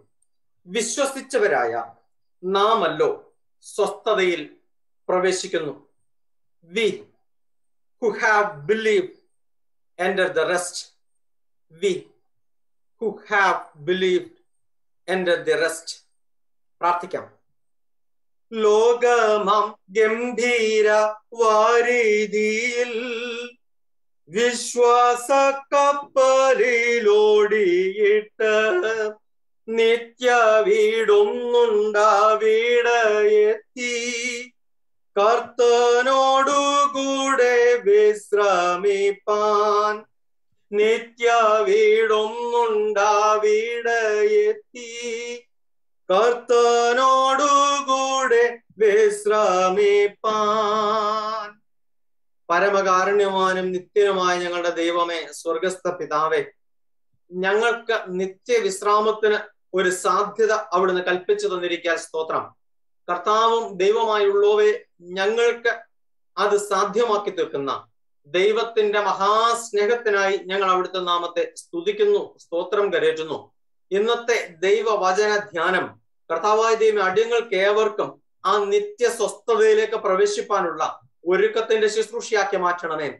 മനുഷ്യന്റെ പരിമിതിയുള്ള ശബ്ദമല്ല പകരമോ പരിമിതി കൂടാത്ത ജീവനുള്ള ദൈവത്തിന്റെ ശബ്ദം തന്നെ ശ്രവിപ്പാൻ കർത്താവെ കൃപ ചെയ്യുമാറാകണമേ. യാതൊന്നും ഞങ്ങളെ ദൈവവചനത്തിൽ നിന്ന് അകറ്റിക്കളയരുതേ. യാതൊന്നും ദൈവവചനത്തെ തടസ്സപ്പെടുത്തുവാൻ ഇടവരരുതേ. ദൈവമക്കൾ എവിടെയൊക്കെ ആയിരിക്കുന്നുവോ? ഏതേത് രാജ്യങ്ങളിലായിരിക്കുന്നുവോ ഏതേത് കാലത്തിലെ സമയത്തിലായിരിക്കുന്നുവോ? അതിലൊക്കെയും സ്വർഗത്തിലെ ദൈവം നിന്റെ മക്കളോട് ഇടപെട്ടുകൊണ്ടിരിക്കണമെന്ന് പ്രാർത്ഥിക്കുന്നു. കൃപ വ്യാപരിക്കണം. നന്മയിൽ പുലർത്തണം. ബലഹീനരാകുന്നടി നീങ്ങത്തെ ശക്തീകരിച്ചുകൊണ്ടിരിക്കണം. സർവമശുമായുടെ നാമത്തിൽ അപേക്ഷിക്കുമ്പോൾ പ്രാർത്ഥന കേട്ട് ഉത്തരം അരുളുമാറാകണമേ.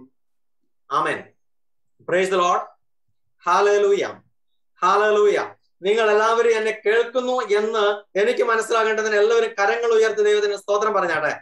ഹാലലൂയ ഹാലലൂയ പ്രൈസ് ലോഡ് ലോകത്തിന്റെ പല ഭാഗങ്ങളിൽ ഇരിക്കുന്നവരാണ് പല സമയക്രമങ്ങളിൽ ഇരിക്കുന്നവരാണ് ഇന്ന് ദൈവത്തിന്റെ വചനം ഒരുമിച്ച് കേൾക്കുക. അത് ഒരു കോവിഡ് കാലം ഒരു പ്രതിസന്ധിയുടെ കാലം ഒരു പ്രശ്നത്തിന്റെ കാലം എന്ന് നമ്മൾ പറയുമ്പോൾ തന്നെ സ്വർഗത്തിലെ ദൈവം പരിമിതി കൂടാതെ പരിധി കൂടാതെ കാലത്തിന്റെ വ്യത്യാസം കൂടാതെ ജോഗ്രഫിക്കൽ ബൗണ്ടറീസ് ഇല്ലാതെ നമുക്ക് ഒരുമിച്ച് ദൈവവചനം ധ്യാനിക്കാൻ ആർക്കും യാതൊരു നിയമത്തിനും യാതൊരു ക്രമത്തിനും തടയാൻ പറ്റാത്ത വിധത്തിൽ ദൈവവചനത്തിന്റെ വ്യാപനത്തിന് സ്വർഗത്തിലെ ദൈവം നമുക്ക് ട്രെയിനിങ് നൽകിക്കൊണ്ടിരിക്കുന്നു എന്നാണ് അതിന്റെ അർത്ഥം. പുതിയ സാധ്യത സ്വർഗത്തെ ദൈവം പഠിപ്പിക്കുന്നു എന്നാണ് അതിന്റെ അർത്ഥം. ഏത് പ്രതിസന്ധിയിലൂടെ പോയാലും ദൈവവചനത്തിന് യാതൊരു തടസ്സവുമില്ല. അതോർത്ത് നാം ദൈവത്തിന് മഹത്വം കരയറ്റണം.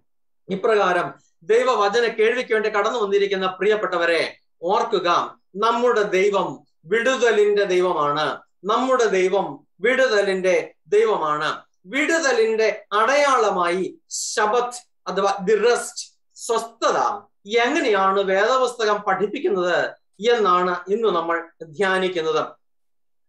നമ്മുടെ എല്ലാവരുടെയും ജീവിതത്തിൽ വലിയ പ്രതീക്ഷയോടുകൂടിയാണ് നാം സ്വസ്ഥതയിൽ പ്രവേശിക്കുക. പലപ്പോഴും സ്വസ്ഥതയിൽ പ്രവേശിക്കുക എന്ന് നമ്മൾ പറയുന്നത് ഒരാൾ കടപൂട്ടി എന്ന അർത്ഥത്തിലാണ്. എന്താണ് കടപൂട്ടുക എന്ന് പറഞ്ഞാൽ? ഒരാളിന്റെ ജീവിതം പൂർത്തീകരിച്ചു അയാൾ മരിച്ചു എന്നുള്ള അർത്ഥത്തിലാണ് പലപ്പോഴും സ്വസ്ഥത എന്ന് നമ്മൾ പറയുക. എന്നാൽ വേദപുസ്തകം പഠിപ്പിക്കുന്ന സ്വസ്ഥത ഉൽപ്പത്തി പുസ്തകം മുതൽ നാം പഠിക്കുമ്പോൾ അത് ദൈവത്തോട് ചേർന്നുള്ള അനുഭവമാണ്. അത് പൂർത്തീകരിക്കപ്പെട്ടുകൊണ്ടിരിക്കുന്ന ഒന്നാണ്. ഇനി പൂർത്തീകരിക്കപ്പെടേണ്ടുന്ന ഒന്നാണ്. നമ്മെ അതിലേക്ക് ക്ഷണിക്കുന്ന ഒന്നാണ് എന്ന് നമുക്ക് മനസ്സിലാക്കാനായിട്ട് കഴിയും. അത് അബ്രഹാമിന്റെ കാല ഉൽപ്പത്തി പുസ്തകത്തെ സൃഷ്ടിപ്പിന്റെ കാലം തുടങ്ങി നമുക്കിങ്ങനെ ഒരു സ്വസ്ഥത എന്നതിനെ കുറിച്ച് പഠിപ്പിക്കുന്നതായിട്ട് നമുക്ക് കാണാൻ കഴിയുന്നു. പിന്നീട് ഇസ്രായേൽ ജനത്തിന്റെ പുറപ്പാട് സംഭവവുമായി ബന്ധപ്പെട്ടിട്ട് കനാൻ നാട്ടിലേക്കുള്ള പ്രവേശനവുമായി ബന്ധപ്പെട്ട സ്വസ്ഥത എന്നുള്ള പാഠം പഠിപ്പിക്കുന്നുണ്ട്. ഇപ്പോൾ നാം വായിച്ചു കേട്ട വേദഭാഗത്ത് ഇനിയും വരുവാനിരിക്കുന്ന ഒരു കാലമാണ് സ്വസ്ഥത എന്ന് നമ്മെ പഠിപ്പിക്കുന്നുണ്ട്. അപ്പോൾ മോശ പ്രസംഗിച്ചത് യോശുവ ജനത്തെ നടത്തിയതായിട്ടുള്ള ഒരു സ്വസ്ഥതയിലേക്കുള്ള ഒരു കാലം സ്വസ്ഥതയ്ക്കുള്ള പാഠം. അത് പൂർണമായിരുന്നില്ല എന്ന് ദാവീദ് സാക്ഷിക്കുന്നു. അത് തന്നെയാണ് എബ്രായ സമൂഹത്തോട് ലേഖകനും പഠിപ്പിക്കുന്നത്. എബ്രായർക്ക് എഴുതിയ ലേഖനം മൂന്ന് നാല് അധ്യായങ്ങൾ ചർച്ച ചെയ്യുന്നത് ഇങ്ങനെ ഇനിയും നമുക്കായുള്ള ഒരു സ്വസ്ഥതയുടെ ഒരു ശാപത്ത് അനുഭവത്തിന്റെ ശേഷിപ്പിനെ കുറിച്ചാണ് ഈ മൂന്ന് നാല് അധ്യായങ്ങൾ പഠിപ്പിക്കുന്നത്. അപ്പോൾ ഈ എബ്രായർക്ക് എഴുതിയ ലേഖനം മൂന്ന് നാല് അധ്യായങ്ങളിൽ പ്രത്യേകമായും പഴയ നിയമത്തിൽ നിന്നുള്ള ധാരാളമായ വ്യാഖ്യാനങ്ങൾ പഴയ നിയമത്തിലുള്ള ധാരാളം വാക്യങ്ങൾ ഇവിടെ കൊട്ട് ചെയ്തിട്ടുണ്ട്. അത് ആവർത്തിച്ച് ഇവിടെ പഠിപ്പിക്കുന്നത് അതിന്റെ വ്യാഖ്യാനമാണ് മൂന്നും നാലും അധ്യായങ്ങൾ എന്നും നമുക്ക് മനസ്സിലാക്കാനായിട്ട് കഴിയും. അപ്പോൾ നാലാം അധ്യായത്തിന്റെ ഒന്നാം വാക്യം പറഞ്ഞു തുടങ്ങുന്നത് എങ്ങനെയാണ്? അവന്റെ സ്വസ്ഥതയിൽ പ്രവേശിപ്പാനുള്ള വാഗ്ദത്വം ശേഷിച്ചിരിക്കിയാൽ. നിങ്ങളിൽ ആർക്കും അത് ലഭിക്കാതെ പോയി എന്ന് വരാതിരിപ്പാൻ നാം ഭയപ്പെടുക. ഇന്ന് എന്നെ കേൾക്കുന്ന എല്ലാ ദൈവമക്കളോടും ദൈവവചനം പറയാൻ എന്നെ പ്രേരിപ്പിക്കുന്ന എന്നെ പ്രചോദിപ്പിക്കുന്ന കാര്യവും കാരണവും അതുതന്നെയാണ് നാം അവന്റെ സ്വസ്ഥതയിൽ പ്രവേശിപ്പാനുള്ള വാഗ്ദത്വം ശേഷിച്ചിരിക്കയാൽ അവന്റെ സ്വസ്ഥതയിൽ പ്രവേശിപ്പാനുള്ള വാഗ്ദത്വം ശേഷിച്ചിരിക്കയാൽ നിങ്ങളിൽ ആർക്കെങ്കിലും അത് ലഭിക്കാതെ പോയി എന്ന് വരാതിരിപ്പാൻ നാം ഭയപ്പെടുക. ഞാൻ ദൈവവചനം നിങ്ങളോട് പ്രഘോഷിക്കുന്നതിന്റെ കാര്യം ഇതാണ്. എന്നെ കേൾക്കുന്ന ഒരൊറ്റ ആൾ പോലും ഈ സ്വസ്ഥതയിൽ പ്രവേശിക്കാതെ വഴിയിൽ വീണ് പോകാൻ ഇടവരരുത്. അതുകൊണ്ട് നിങ്ങളോട് എനിക്ക് ജീവന്റെ വചനം നിങ്ങളോട് പറയാനുള്ള ഗോസ്പൽ നിങ്ങളോട് പറയാനുള്ള സുവിശേഷം എന്നത് വാതിൽ അടച്ചിട്ടില്ല പ്രിയപ്പെട്ടവരെ. ഇപ്പോഴും നമ്മളെ കാത്തിരിക്കുന്ന. ഇപ്പോഴും നമ്മെ പ്രതീക്ഷിച്ചിരിക്കുന്ന ഇപ്പോഴും വാതിൽ തുറന്നിട്ടിരിക്കുന്ന ഒരു നാഥനുണ്ട്. അവൻ വിളിക്കുന്നു വരിക നിനക്ക് വേണ്ടിയിട്ടാണ് ഞാൻ കൂശിൽ മരിച്ചത്. നിന്നെ കാത്തിരിക്കുകയാണ്. നിനക്ക് വേണ്ടിയിട്ടാണ് ഞാൻ ഇപ്പോഴും വാതിൽ തുറന്നിട്ട് കാത്തിരിക്കുന്നത്. വരിക വരിക എന്ന് കർത്താവ് പഠിപ്പിക്കുന്നു. പക്ഷെ ക്രിസ്തീയതയ്ക്ക് പറ്റിയ ഒരു വലിയ അപജയം കർത്താവ് നമ്മളോട് വരിക വരിക എന്ന് പറയുമ്പോൾ നമ്മൾ ഇപ്പോഴും കർത്താവിനോട് തരിക തരിക എന്നാണ് പറഞ്ഞുകൊണ്ടിരിക്കുന്നത്.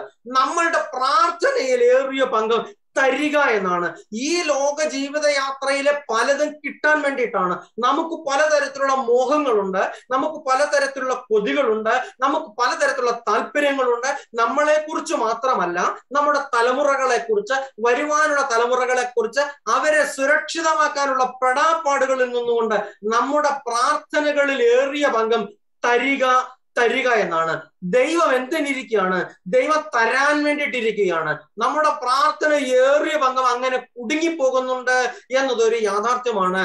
എന്നാൽ പ്രിയപ്പെട്ടവരെ ഇന്ന് ദൈവവചനത്തിൽ നിന്ന് എന്നെ നിങ്ങൾ എനിക്ക് നിങ്ങളോട് ഓർമ്മിപ്പിക്കാനുള്ളത് തരിക തരിക എന്നതിന് പകരം സ്വർഗം പറയുന്നു വരിക വരിക നിനക്ക് വേണ്ടിയിട്ട് ഇപ്പോഴും തുറന്നിരിക്കുന്ന ഒരു വാതിലുണ്ട്. നിന്നെ കാത്തിരിക്കുന്ന ഒരു ഇടയനുണ്ട്.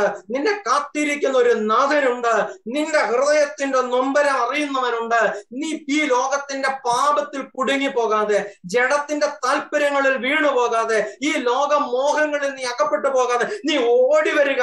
നിന്നെ സ്വീകരിക്കാനായിട്ട് ഞാൻ തയ്യാറാണ്.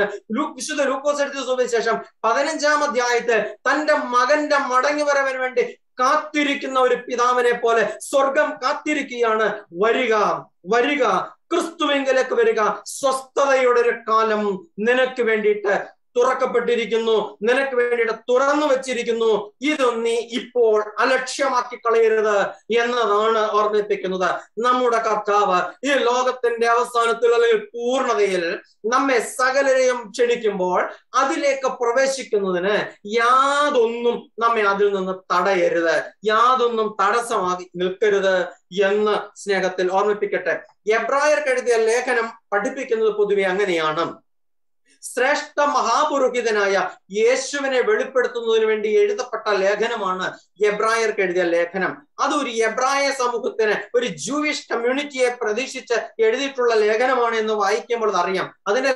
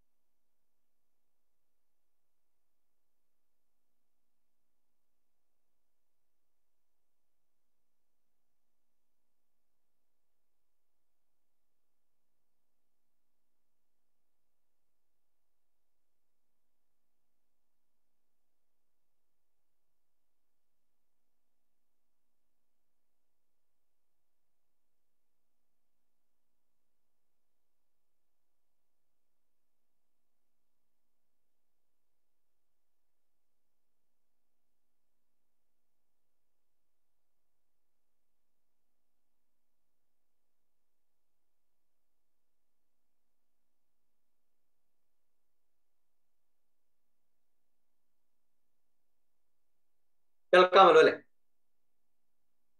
ഓക്കെ അപ്പോൾ പഠിപ്പിക്കാനായിട്ട് പറയാനായിട്ട് ശ്രമിക്കുന്നത്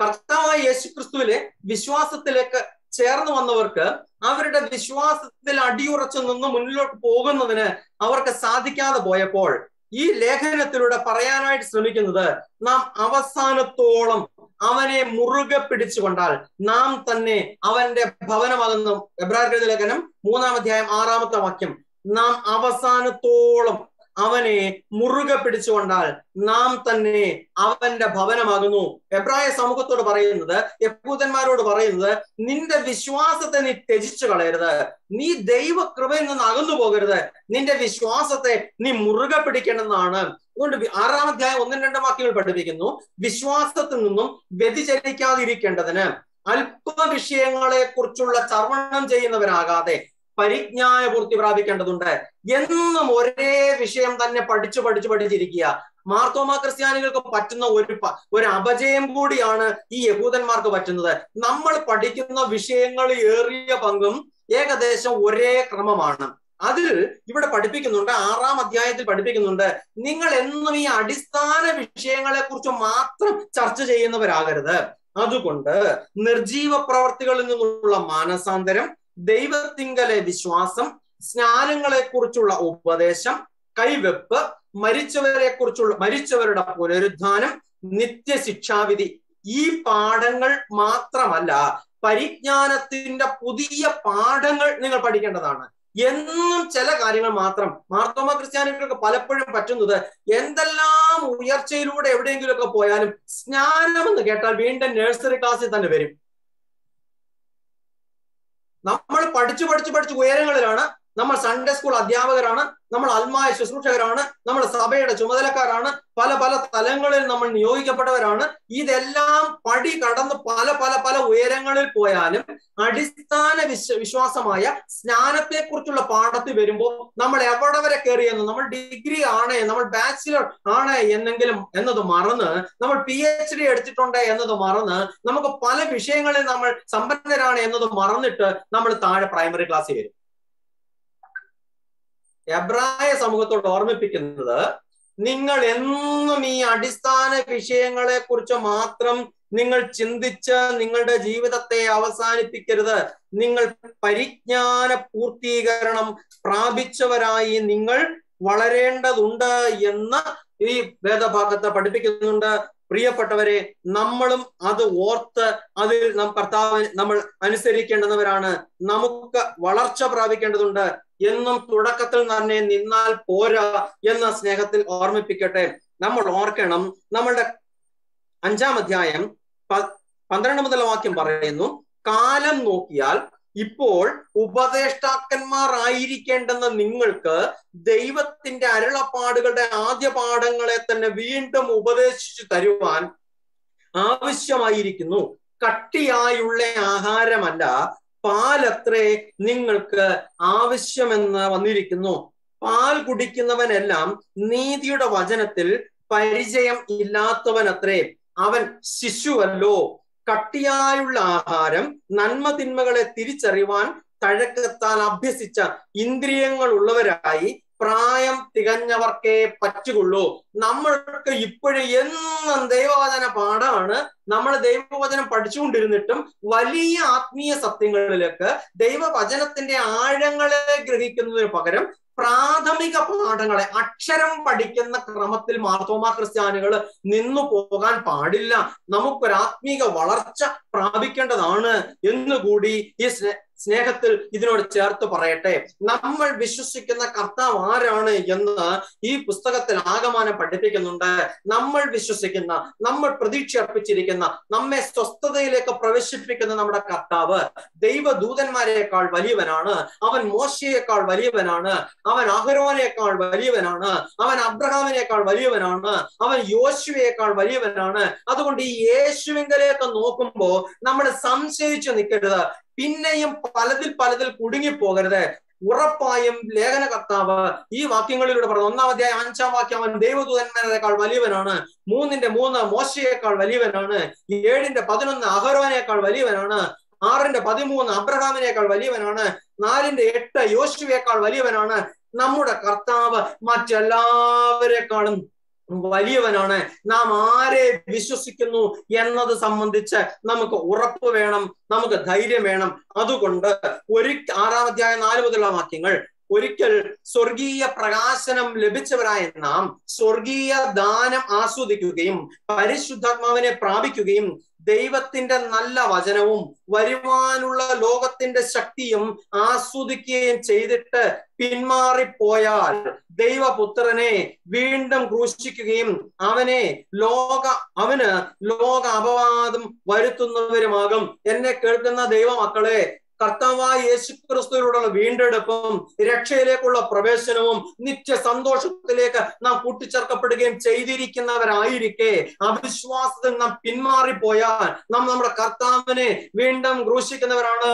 കഷ്ടങ്ങൾ വന്നോട്ടെ നഷ്ടങ്ങൾ വന്നോട്ടെ ജോലി നഷ്ടം വന്നോട്ടെ പ്രതിസന്ധിയിലൂടെ പൊക്കോട്ടെ ജീവിതത്തിലെ വലിയ വലിയ സങ്കടങ്ങളിലൂടെ പൊക്കോട്ടെ അപ്പോഴും ഓർക്കുക എന്റെ കർത്താവ് എനിക്ക് മതിയായവനാണ്. ഞാൻ വിശ്വാസത്തിൽ അവനിൽ നിന്ന് മാറുകയില്ല എന്ന അടി ഉറച്ച വിശ്വാസം ദൈവ മക്കൾക്കുണ്ടായിരിക്കണം പത്താം അധ്യായം മുപ്പത്തി ഒമ്പതാം വാക്യം പഠിപ്പിക്കുന്നു നാം നാശത്തിലേക്ക് പിന്മാറുന്നവരുടെ കൂട്ടത്തിലല്ല വിശ്വസിച്ച് ജീവരക്ഷ പ്രാപിക്കുന്നവരുടെ കൂട്ടത്തിൽ അത്രയാകുന്നു. എന്നെ കേൾക്കുന്ന ദൈവമക്കൾക്ക് ഈ ഉറപ്പ് വേണം. അവനവനോട് തന്നെ പറയണം നാം നാശത്തിലേക്ക് പിന്മാറുന്നവരുടെ കൂട്ടത്തിലല്ല. വിശ്വസിച്ച് ജീവരക്ഷ പ്രാപിക്കുന്നവരുടെ കൂട്ടത്തിൽ അത്രയാകുന്നു പത്താം അധ്യായം മുപ്പത്തൊമ്പതാം വാക്യം. അത് നാം തിരിച്ചറിയണം. അപ്പോൾ ഈ വചന കേൾവിയിലൊക്കെ ചേർന്ന് വരുന്ന പല ഇടങ്ങളിൽ ഇരുന്ന് കേൾക്കുന്ന എല്ലാ ദൈവമക്കളോടും ഞാൻ ഈ ദൈവവചനം പറയുന്നതിന്റെ ഉദ്ദേശം ഓർമ്മിപ്പിച്ചല്ലോ. അവന്റെ സ്വസ്ഥതയിൽ പ്രവേശിപ്പാനുള്ള വാഗ്ദത്വം ശേഷിച്ചിരിക്കിയാൽ നിങ്ങളിൽ ആർക്കെങ്കിലും അത് ലഭിക്കാതെ പോയി എന്ന് വരാതിരിക്കാനാണ് ഞാൻ ഇന്ന് നിങ്ങളോട് ദൈവവചനം പറയുന്നത്. അങ്ങനെയെങ്കിൽ ഈ വർഷത്തെ കൺവെൻഷന്റെ ഉദ്ദേശം ബഹറിൻ മാർത്തോമായ ഇടവകയ്ക്ക് ഇയർ പ്ലാൻ അനുസരിച്ച് ഒരു കൺവെൻഷൻ നടത്തിയേ പറ്റൂ എന്ന്. അതൊരു കോവിഡ് കാലമാണെങ്കിലും ഒരു പാൻഡമിക് സീസൺ ആണെങ്കിലും ഞങ്ങൾ അത് മുടക്കിയിട്ടില്ല.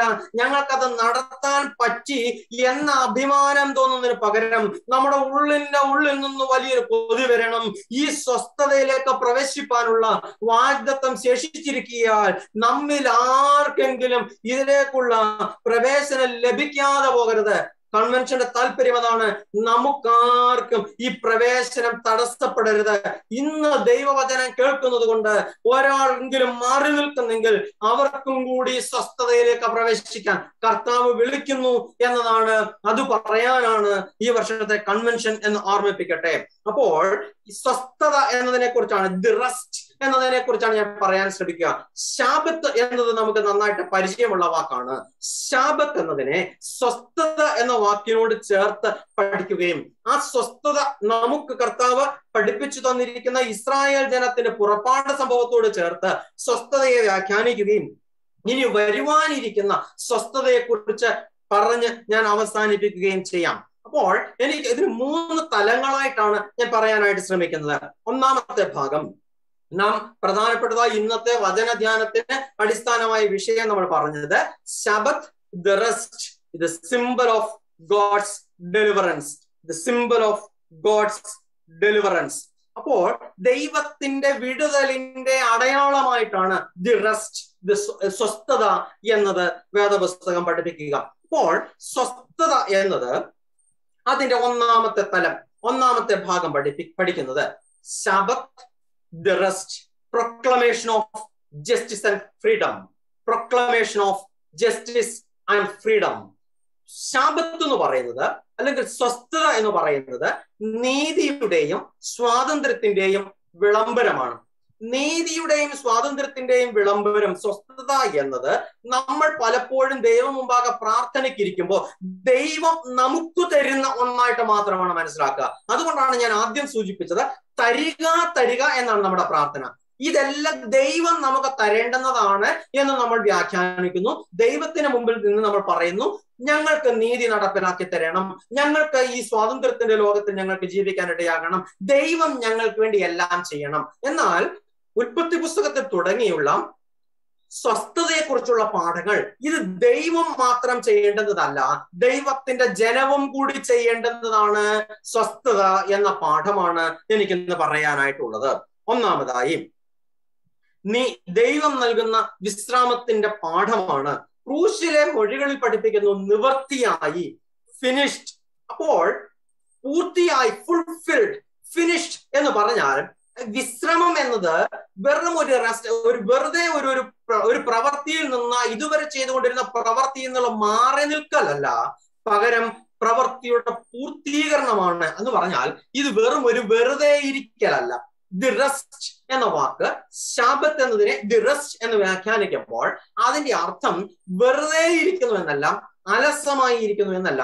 അതിന് വേദപുസ്തകം പഠിപ്പിക്കുന്ന പല വളർച്ചയുടെ ഘട്ടങ്ങളുണ്ട്.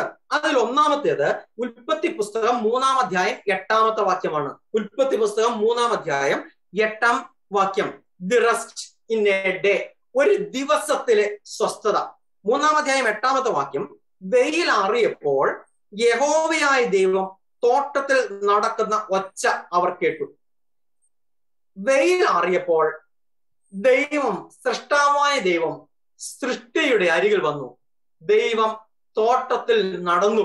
ദൈവം തോട്ടത്തിൽ നടന്നു എന്നത് തിരിച്ചറിയുന്നത് ആദമും ഹൗവയുമാണ് പാപത്തിൽ വീണു പോയതിന്റെ ഒരു പശ്ചാത്തലത്തിലാണ് അങ്ങനെ ഒരു വ്യാഖ്യാനമുള്ളത്.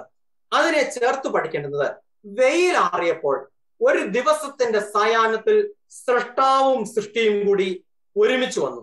സൃഷ്ടി സൃഷ്ടാവിന്റെ സന്നിധിയിൽ ഇരുന്ന അനുഭവമാണ് അപ്പോൾ സ്വസ്ഥത the rest in a day അപ്പോൾ നമ്മുടെ എല്ലാവരുടെയും പ്രാർത്ഥനയുടെ പൊരുൾ ഇതാണ്. നമ്മൾ സാധാരണ നമ്മുടെ സഭയുടെ പാരമ്പര്യം അനുസരിച്ച് പറയുന്ന വാക്കാണ് സന്ധ്യാ നമസ്കാരം അല്ലെ? സന്ധ്യാ നമസ്കാരം. സന്ധ്യാ നമസ്കാരം. നമ്മൾ ജീവിച്ച ഭാരതത്തിന്റെ പശ്ചാത്തലത്തിൽ സന്ധ്യാസമയം പ്രാർത്ഥനയുടെ സമയമാണ്. ഹൈന്ദവ കുടുംബങ്ങൾ ഉള്ള ഇടങ്ങളിലൂടെ നാം സഞ്ചരിച്ച സന്ധ്യാസമയത്ത് അതിന്റെ ഒരു പ്രത്യേക സുഗന്ധം ആ തെരുക്കളിലൊക്കെ ഉണ്ടാകും. ആ സമയത്ത് നാമജപം നമുക്ക് കേൾക്കാനായിട്ട് കഴിയും. ക്രിസ്ത്യാനികളുള്ള ഭവനങ്ങളിൽ ഈ കുറച്ചു കാലം മുമ്പ് എന്നെ കേൾക്കുന്നവരിലെ മുതിർന്ന തലമുറയ്ക്ക് വളരെ നല്ല പരിചയമുണ്ടായിരുന്നത് സന്ധ്യാസമയത്ത് നമ്മുടെ സന്ധ്യാ പ്രാർത്ഥനകളുടെ ക്രമമാണ്. എന്ന് പറഞ്ഞാൽ സന്ധ്യാസമയം സായാഹ്നം the rest in a day സന്ധ്യാസമയം ദൈവം സൃഷ്ടാവ് സൃഷ്ടിയുമായി കൂടിക്കാണുന്ന സുന്ദരമായ അനുഭവമാണ് എന്ന് നമ്മുടെ മാതാപിതാക്കൾ നമ്മെ പഠിപ്പിച്ചിട്ടുണ്ട്. ഹൈന്ദവ ദർശനം അനുസരിച്ച് നമ്മളൊക്കെ സാധാരണ പലപ്പോഴും നമ്മൾ അല്പം ദേഷ്യത്തിലൊക്കെ ഉപയോഗിക്കുന്ന വാക്കാണ് മൂദേവി. ചിലരെയൊക്കെ നമ്മൾ അങ്ങനെയാണ് സ്നേഹം കൂടുമ്പോഴാണ് അങ്ങനെ വിളിക്കുക അല്ലെ? മൂദേവി എന്ന് വിളിക്കാറുള്ളത്. എന്നാൽ ചിലരെയൊക്കെ കാണുമ്പോൾ നമ്മൾ ശ്രീദേവി എന്നാണ് വിളിക്കുക. ഹിന്ദു പുരാണം അനുസരിച്ച് മൂദേവിയും ശ്രീദേവിയും സഹോദരിമാരാണ്. അപ്പോൾ ഇവർക്ക് എവിടെയാണ് അവർക്കൊരു സങ്കേതം കൊടുക്കുക എന്നതിനെ കുറിച്ച് ബ്രഹ്മാവ് ചിന്തിക്കുമ്പോൾ ഇവർക്ക് വേണ്ടിയിട്ടുള്ള ഇടം കൊടുത്തും ഓരോ സന്ധിയിലും ശ്രീദേവിയും മൂദേവിയും കൂടെ വിസിറ്റിന് ഇറങ്ങും അപ്പോ ബഹ്റൈനിൽ വരുമോ എന്ന് എനിക്കറിയാൻ പാടില്ല. കേരളത്തിലൊക്കെ വരും. അപ്പോ ഈ ശ്രീദേവിയും മൂദേവിയും കൂടെ വൈകുന്നേരം ഈ വൈകുന്നേരം ഭവനങ്ങൾ സന്ദർശിക്കാൻ ഇറങ്ങും.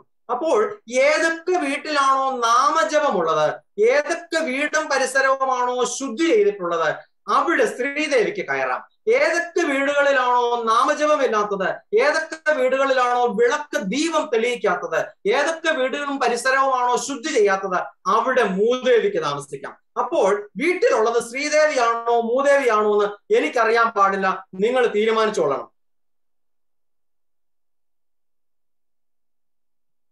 ഹൈന്ദവ ധർമ്മം അങ്ങനെയാണെങ്കിൽ ക്രിസ്തീയത നമ്മെ പഠിപ്പിക്കുന്നുണ്ട്. ഓരോ സായാഹ്നവും ദൈവവുമായി സൃഷ്ടാവ് സൃഷ്ടിയുമായി കണ്ടുമുട്ടുന്ന അനുഭവമാകണം. നമ്മുടെ സന്ധ്യാപ്രാർത്ഥനയെല്ലാം ഈ പുനരുദ്ധാനത്തിന്റെ പ്രതീക്ഷയും ഓരോ ദിവസവും അവസാനിക്കുമ്പോൾ ദൈവമേ ഞങ്ങൾ ഒരു രാക്കാലത്തിലേക്ക് പ്രവേശിക്കുമ്പോൾ ഞങ്ങൾക്ക് മരണത്തെയും പുനരുദ്ധാനത്തെയും കുറിച്ചുള്ള ചിന്തയാണ് ഞങ്ങളെ ഭരിക്കുന്നത്.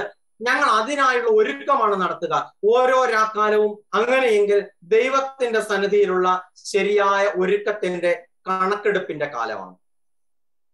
ഇപ്പോൾ സയൻസ് മെഡിക്കൽ സയൻസ് പറയുന്നു നിങ്ങൾ കിടക്കയിലേക്ക് പോകുമ്പോൾ ചെന്ന കിടക്കയിലേക്ക് വീടരുത് ശരിയായ ഉറക്കം കിട്ടേണ്ടതിന് മൊബൈൽ ഫോൺ എല്ലാം മാറ്റിവെച്ച് കിടക്കയെ അല്പസമയം ഇരുന്ന് കൈകാലുകൾ നിവർത്തി ശരിയായ വിധത്തിൽ ശ്വാസോച്ഛാസം നടത്തി അന്നത്തെ ദിവസത്തെ കാര്യങ്ങളെല്ലാം തലച്ചോറിൽ കമ്പ്യൂട്ടറിൽ ഫയലുകളെല്ലാം ക്രമീകരിച്ചു വെക്കുന്നത് പോലെ നിങ്ങളുടെ തലച്ചോറിൽ നിന്ന് ഭാരിച്ച കാര്യങ്ങളൊക്കെ ഒന്ന് മാറ്റി എല്ലാറ്റിനും ഓരോ ഓർഡറാക്കി കിടക്കുക അപ്പോൾ നിങ്ങൾക്ക് നല്ല ഉറക്കം ലഭിക്കും. എന്നെ കേൾക്കുന്നവരിൽ ഇതിനേക്കാൾ കുറച്ചുകൂടി മെച്ചപ്പെട്ട നിലയിൽ അത് പറയാൻ കഴിവുള്ളവരൊക്കെ ഉണ്ടാകും. എങ്കിലും ഓർക്കുക ഒരു ക്രമീകരണം ആവശ്യമാണ് ഒരു ഉറക്കം നമ്മെ പഠിപ്പിക്കുന്നുണ്ട്.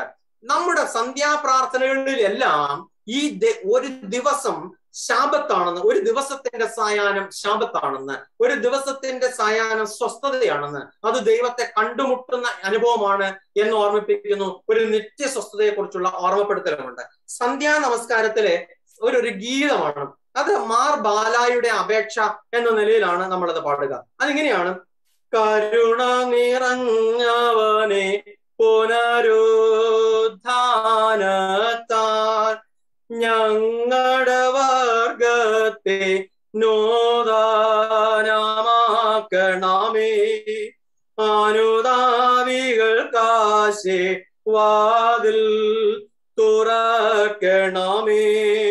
നിൻ വരവ ജീവൻ നൽകണമേ. നിൻ സുവിശേഷത്തിൽ വിശ്വാസം പൂണ്ടോ? അബ്രഹമിസഹാക്ക് യാക്കോബം ആശ്വാസം മടിയില്ലാശ്വാസം ചീടണമേ വന്നവനും ഇനിമേ വരുവാതിനുള്ളവനും. മരിച്ചോർക്കുദ്ധാനം നൽകും. നോനും നീ സ്തുത്യൻ നീയെന്ന് ആത്മാ ശരീരങ്ങൾ ഒരുമിച്ചട്ടഹസിക്കും നൻ കർത്താവേ. യാചന കൈക്കൊണ്ട് കാരുണ്യം ചെയ്യാം. സന്ധ്യാ നമസ്കാരം. ഓരോ സന്ധ്യയിലും മാർത്തോമ ക്രിസ്ത്യാനികളും നമ്മുടെ സന്ധ്യാ നമസ്കാരത്തിൽ മാ ബാലായുടെ അപേക്ഷയിൽ പറഞ്ഞു എങ്ങനെയാണ്? കരുണ നിറഞ്ഞവനായ തമ്പുരാനെ പുനരുദ്ധാനത്താൽ ഞങ്ങളുടെ വർഗത്തെ നീ പുതുക്കണമേ. അനുതാ അനുദപിക്കുന്നവർക്ക് ആശവക്കാൻ ഇടമുള്ള ഇടമേ. നിന്റെ കരുണയുടെ വാതിൽ ഞങ്ങൾക്ക് നീ തുറന്നു തരണമേ. നിന്റെ എഴുന്നള്ളത്തിങ്കൽ നിന്റെ കൃപയാൽ ഞങ്ങൾക്ക് ജീവൻ നൽകണമേ. നിന്റെ സുവിശേഷത്തിൽ വിശ്വസിച്ചിട്ടുള്ളവരായ ഞങ്ങൾക്ക് അബ്രഹാമിന്റെയും ഇസഹാക്കിന്റെയും യാക്കോബിന്റെയും മടിയിൽ അധിവസിക്കാനുള്ള ഭാഗ്യം നീ തരണമേ. വന്നവനും വരുന്നവനും മരിച്ചവരെ പുനർജീവിപ്പിക്കുന്നവനുമായ കർത്താവ് അനുഗ്രഹിക്കപ്പെട്ടവനാകുന്നു. ഇത് ശരീരാത്മരേഖകൾ നിത്യം നിരന്തരമായി അങ്ങേ പാടി സ്തുതിക്കട്ടെ. നമുക്ക് ഈ പ്രാർത്ഥനയൊക്കെ കൈമോശം വന്നു പോയതല്ലേ? നമുക്ക് ഈ സ്തുതിപ്പിന്റെ ഗീതമൊക്കെ കൈമോശം വന്നു പോയതാണ്. ചിലയിടത്തൊക്കെ മരണ വീട്ടിലൊക്കെ പാടുമ്പോ ചിലരൊക്കെ കൂടെ പാടാറുണ്ട്. പ്രിയപ്പെട്ടവരെ ഓർക്കുക നമുക്കൊരു വലിയ പ്രതീക്ഷയുണ്ട്. ഓരോ സായാഹ്നത്തിലും വിളിച്ചു പറയേണ്ടതാണ് എന്റെ കർത്താവെ ഒരു പുനരുദ്ധാനത്തിന്റെ വലിയ പ്രതീക്ഷയിലാണ് ഞാൻ നിലനിൽക്കും ഞാൻ നിൽക്കുന്നത്. The rest in a day എന്നതാണ് ഞാൻ പറയാനായിട്ട് ശ്രമിച്ചത്. രണ്ട് the rest in a week പഴയ നിയമ പുസ്തകം പഠിപ്പിക്കുന്ന അങ്ങനെയാണ് ഉൽപ്പത്തി പുസ്തകം രണ്ടാം അധ്യായം മൂന്നാമത്തെ വാക്യം. അത് ഏഴാമത്തെ ഏഴാമത്തെ ദിവസം കർത്താവ് തന്റെ പ്രവൃത്തിയിൽ നിന്ന് നിവർത്തനായി എന്ന് പഠിപ്പിക്കുന്നു. ഇങ്ങനെ ആകാശവും ഭൂമിയും അവയിലുള്ള ചരാചരങ്ങളൊക്കെയും തികഞ്ഞു. താൻ ചെയ്ത പ്രവൃത്തിയൊക്കെയും ദൈവം തീർത്ത ശേഷം താൻ ചെയ്ത സകല പ്രവൃത്തിയിൽ നിന്നും ഏഴാം ദിവസം നിവർത്തനായി. താൻ സൃഷ്ടിച്ചുണ്ടാക്കിയ സകല പ്രവൃത്തിയിൽ നിന്നും അന്ന് നിവർത്തനായതുകൊണ്ട് ദൈവം ഏഴാം ദിവസത്തെ അനുഗ്രഹിച്ച് ശുദ്ധീകരിച്ചു. സെവൻത് ഡേ റെസ്റ്റ് ഏഴാം ദിവസത്തെ സ്വസ്ഥത. അതിനെയാണ് ഷാബത്ത് എന്ന് പഠിപ്പിക്കുക. ആവർത്തന പുസ്തകം അഞ്ചാം അധ്യായം പന്ത്രണ്ട് മുതലുള്ള വാക്യങ്ങളിൽ അതിനെക്കുറിച്ച് കൃത്യമായ വിവരണം ന്യായപ്രമാണത്തിന്റെ ക്രമത്തോട് ചേർത്ത് പഠിപ്പിക്കുന്നുണ്ട്. ആവർത്തന പുസ്തകം അഞ്ചാം അധ്യായം പന്ത്രണ്ട് മുതലുള്ള വാക്യങ്ങളിൽ നിന്റെ ദൈവമായ യഹോവ നിന്നോട് കൽപ്പിച്ചതുപോലെ ശബത്തുനാൾ ശുദ്ധീകരിച്ച് ആചരിക്കാം ആറ് ദിവസം അധ്വാനിച്ചതിന്റെ വേലയൊക്കെയും ചെയ്യുക. ഏഴാം ദിവസം ഒന്നിന് ദൈവമായ യഹോവയുടെ ശബത്താകുന്നു അന്ന് നീയും നിന്റെ മകനും മകളും നിന്റെ വേലക്കാരനും വേലക്കാരത്തിയും നിന്റെ കാളയും കഴുതയും നിനക്കുള്ള യാതൊരു നാൽക്കാലിയും നിന്റെ പടിവാതിലക്കകത്തുള്ള അന്യനും ഒരു വേലയും ചെയ്യരുത്. നിന്റെ വേലക്കാരനും വേലക്കാരത്തിൽ നിന്നെ പോലെ സ്വസ്ഥമായിരിക്കേണ്ടതിന് തന്നെ നീ മിശ്രയും ദേശത്ത് അടിമയായിരുന്നു എന്നും അവിടെ നിന്ന് നിന്റെ ദൈവമായ ഹോവ നിന്നെ ബലമുള്ള കൈകൊണ്ടും നീട്ടിയ ഭുജകൊണ്ടും പുറപ്പെടുവിച്ചു എന്ന് ഓർക്ക. അതുകൊണ്ട് ശബത്തുനാൾ ആചരിപ്പാൻ നിന്റെ ദൈവമായ ഹോവ നിന്നോട് കൽപ്പിച്ചു. ഇവിടെ ഓർമ്മിപ്പിക്കുന്ന സത്യം നീ ആഴ്ചയിലെ ഏഴാമത്തെ നാൾ സെവൻത് ഡേ സബത്ത് നീ ഏഴാം നാളിനെ വേർതിരിച്ച് നീ യഹോവയുടെ സന്നിധി വരുമ്പോൾ നീ ഓർക്കേണ്ടുന്നത് നിന്നെ അടിമത്തത്തൊന്ന് വിടുവിച്ച ഒരു ദൈവമുണ്ട്. അപ്പോൾ എല്ലാ ഉത്സവങ്ങളും എല്ലാ പെരുന്നാളുകളും വിമോചനത്തിന്റെ ഒരു കഥ നമ്മെ പഠിപ്പിക്കുന്നു. മലയാളികൾക്ക് ഓണം വളരെ പ്രധാനപ്പെട്ടതാണ്. ഓണം എന്ന് പറയുമ്പോൾ തന്നെ അതിനോട് ചേർത്ത് നമുക്കൊരു ഐതിഹ്യമുണ്ട് അതിനോട് ചേർത്ത് ഒരു കഥയുണ്ട്. ഓരോ ഉത്സവത്തിനും പറയാൻ ഓരോ കഥയുണ്ട്. അങ്ങനെയെങ്കിൽ ശബത്തിന് പറയാൻ ഒരു കഥയുണ്ട്. അത് ഏഴാം നാളിലെ സ്വസ്ഥത സൃഷ്ടിപ്പിനോട് ചേർത്ത് മാത്രമല്ല മിശ്രൈമിലെ അടിമത്തത്തിൽ വിടുവിച്ച ഒരു ദൈവമുണ്ടെന്ന് തലമുറകളെ പഠിപ്പിക്കാനും കൂടിയാണ് ഏഴാമത്തെ ദിവസം സ്വസ്ഥത. അപ്പോൾ ഏഴാമത്തെ ദിവസം നീ ആരാധനയ്ക്ക് വേണ്ടി വരിക മാത്രമല്ല ചെയ്യേണ്ടത്. അന്ന് നിനക്ക് മാത്രമല്ല സ്വസ്ഥത. നിന്റെ മകന് നിന്റെ മകൾക്ക് നിന്റെ കാളയ്ക്ക് നിന്റെ കഴുതയ്ക്ക് നിന്റെ വീട്ടിലെ ദാസന് നിന്റെ വാതിൽപ്പടിക്കകത്തുള്ള അന്യന് പരദേശിക്ക് എന്ന് പറഞ്ഞാൽ എല്ലാവർക്കും സ്വസ്ഥത കൽപ്പിക്കുന്ന ഒന്നാകണം. അപ്പോൾ ഞാൻ നേരത്തെ പറഞ്ഞു ദൈവത്തിന്റെ സന്നിധിയിൽ ആരാധിക്കുക മാത്രമല്ല ദ റെസ്റ്റ് അല്ലെങ്കിൽ ശാപത്ത് എന്നതുകൊണ്ട് പഠിപ്പിക്കുന്നത് മറ്റുള്ളവർക്ക് വിടുതൽ പ്രഖ്യാപിക്കുക കൂടിയാണ്. അപ്പോൾ ദി റെസ്റ്റ് എന്ന വാക്ക് സ്വസ്ഥത എന്ന വാക്ക് നമ്മോട് ഇന്ന് ദൈവവചന കേൾവിക്ക് കടന്നു വന്നിരിക്കുന്ന എല്ലാ ദൈവമക്കളോടും പറയുന്നത് സ്വസ്ഥത എനിക്ക് അനുഭവിക്കാനുള്ളത് മാത്രമല്ല എനിക്ക് പ്രഖ്യാപിക്കാനുള്ളത് കൂടിയാണ്. ഓരോ ശബ്ദത്തും ഓർമ്മിപ്പിക്കുന്നു. നീ മറ്റുള്ളവരോട് വിടുതൽ പ്രസ പ്രസംഗിക്കണം. നീ മറ്റുള്ളവരോട് സ്വസ്ഥത പ്രസംഗിക്കണം. മറ്റുള്ളവർക്ക് വിമോചനം പ്രഖ്യാപിക്കേണ്ടതാണ്. അതില്ലാത്തയുള്ള ആരാധനകളൊന്നും ദൈവത്തിന് സ്വീകാര്യമല്ല. യശ്യാപ്രവാചകന്റെ പുസ്തകം ഒന്നാം അധ്യായം അതിന്റെ പതിനൊന്ന് മുതലുള്ള വാക്യങ്ങൾ നിങ്ങളുടെ ഹനനയാഗങ്ങളുടെ ബാഹുല്യം എനിക്ക് എന്തിനെ യഹോവ വരളി ചെയ്യുന്നു? മുട്ടാടുകളെ കൊണ്ടുള്ള ഹോമയാഗവും തടിപ്പിച്ച മൃഗങ്ങളുടെ മേധസ്സും കൊണ്ട് എനിക്ക് മതി വന്നിരിക്കുന്നു. കാളകളുടെയോ കുഞ്ഞാടുകളുടെയോ കോലാട്ടുകറ്റന്മാരുടെയോ രക്തം എനിക്ക് ഇഷ്ടമല്ല. നിങ്ങൾ എന്റെ സന്നിധി വരുമ്പോൾ എന്റെ പ്രാകാരങ്ങളെ ചവിട്ടുവാൻ ഇത് നിങ്ങളോട് ചോദിച്ചതാണ്. ഇനി നിങ്ങൾ വ്യർത്ഥമായുള്ള കാഴ്ച കൊണ്ടുവരരുത്. ധൂമം എനിക്ക് വെറുപ്പാകുന്നു. അമാവാസിയും ശബത്തും സഭായോഗം കൂടുന്നതും നീതികേടും ഉത്സവയോഗവും എനിക്ക് സഹിച്ചുകൂടാ. നിങ്ങളുടെ അമാവാസികളെയും ഉത്സവങ്ങളെയും ഞാൻ വെറുക്കുന്നു. അവ എനിക്ക് അസഹ്യം. നിങ്ങൾ കൈമലർത്തുമ്പോൾ ഞാൻ എന്റെ കണ്ണ് മറച്ചു കളയും. നിങ്ങൾ എത്ര തന്നെ പ്രാർത്ഥന കഴിച്ചാലും ഞാൻ കേൾക്കയില്ല. കാരണം നിങ്ങളുടെ കൈ രക്തം കൊണ്ട് നിറഞ്ഞിരിക്കുന്നു. നിങ്ങളെ കഴുകി വെടിപ്പാക്കുവിൻ. നിങ്ങളുടെ പ്രവൃത്തികളുടെ ദോഷത്തെ എന്റെ കണ്ണിന് മുമ്പിൽ നിന്ന് നീക്കിക്കളവീൻ തിന്മ ചെയ്യുന്നത് മതിയാക്കുവീൻ. നന്മ ചെയ്യുവാൻ പഠിപ്പീൻ. ന്യായം അന്വേഷിപ്പീൻ. പീഡിപ്പിക്കുന്നവരെ നേർവഴിക്കാക്കുവീൻ. അനാഥന് ന്യായം നടത്തി കൊടുപ്പീൻ വിധവയ്ക്ക് വേണ്ടി വ്യവഹരിപ്പീൻ. അപ്പോൾ ശബത്ത് ഓർമ്മിപ്പിക്കുന്നു ഇത് തരിക എന്നതല്ല. ഞാൻ ന്യായം നടത്താനുള്ള ഓർമ്മയാണ് ഓർമ്മപ്പെടുത്തലാണ് ശാപത്ത് നൽകുന്നത് അല്ലെങ്കിൽ എന്നത് നൽകുന്നത് എന്ന് ഓർമ്മിപ്പിക്കുന്നു. ആമോസിന്റെ പുസ്തകം എട്ടാം അധ്യായം സൗകര്യപ്രദമായി അത് പഠിക്കാനായിട്ട് താല്പര്യമുള്ളവർക്ക് അത് പഠിക്കാവുന്നത്ര എന്റെ മുമ്പിലുള്ള സമയം ചുരുക്കമായതുകൊണ്ട് ഞാൻ ഈ ഭാഗത്തിലേക്ക് പോകുന്നില്ല. ആമോസ് പ്രവാചകൻ പുസ്തകം എട്ടാം അധ്യായം താല്പര്യമുള്ളവർക്ക് പിന്നീട് പഠിക്കാവുന്നതാണ്. മൂന്നാമതായി അടുത്തായിട്ട് പറയുന്നത് the rest in an year വർഷത്തിൽ ഒരിക്കലെ റെസ്റ്റിനെ കുറിച്ചാണ് സ്വസ്ഥതയെ കുറിച്ചാണ് പുസ്തകം ഇരുപത്തിമൂന്നാം അധ്യായം. ഒരു വർഷത്തിന്റെ ഏഴാം മാസം അതിന്റെ പതിനഞ്ച് മുതൽ ഏഴ് ദിവസം കൂടാര പെരുന്നാളായിരിക്കണം. അതിന്റെ പത്താമത്തെ ദിവസം അനുതാപത്തിന്റെ ദിവസം ഉണ്ടാകണം. ഓർമ്മപ്പെടുത്തുന്നത് ഓരോ വർഷത്തിന്റെയും ഏഴാം മാസം ദൈവത്തിന്റെ സന്നിധി സ്വസ്ഥതയുടെ മാസമായിരിക്കണം. അപ്പോൾ അതിന്റെ ആദ്യ ദിവസം വിശുദ്ധ സ്വസ്ഥതയാണ് എട്ടാം ദിവസം വിശുദ്ധ സ്വസ്ഥതയാണ് ഏഴാം മാസം ആത്മതപനത്തിന്റെ കാലമാണ് ജനം കൂടാരങ്ങളിൽ പാർക്കണം. കാരണം ഇസ്രായേൽ ജനം ഇസ്രായേലിലെ അടിമത്തുനിന്ന് വിടുവിക്കപ്പെട്ടപ്പോൾ അവർ കൂടാരങ്ങളിൽ പാർത്തുകൊണ്ടാണ് സഞ്ചരിച്ചത്. അപ്പോൾ നിനക്ക് കഷ്ടതയുടെയും ബുദ്ധിമുട്ടിന്റെയും ഒരു കാലം ഉണ്ടായിരുന്നുവെന്ന് അതിൽ നിന്നെ നടത്തിയ ഒരു ദൈവമുണ്ട് എന്ന് നീ കനാൻ നാടിന്റെ സൗഭാഗ്യതയിൽ ഇരിക്കുമ്പോ ഇങ്ങനെയായിരുന്നു എന്നല്ല ഞങ്ങൾക്ക് ഓർക്കാൻ ഒരു പൂർവകാലം. നൊമ്പരത്തിന്റെ കാലം ഉണ്ടായിരുന്നു എന്ന് ഓർക്കേണ്ടതിന് ഓരോ വർഷത്തിന്റെയും ഏഴാം മാസം നീ ശാപത്ത് മാസമായി ആചരിക്കണമെന്ന് പഠിപ്പിക്കുന്നുണ്ട്.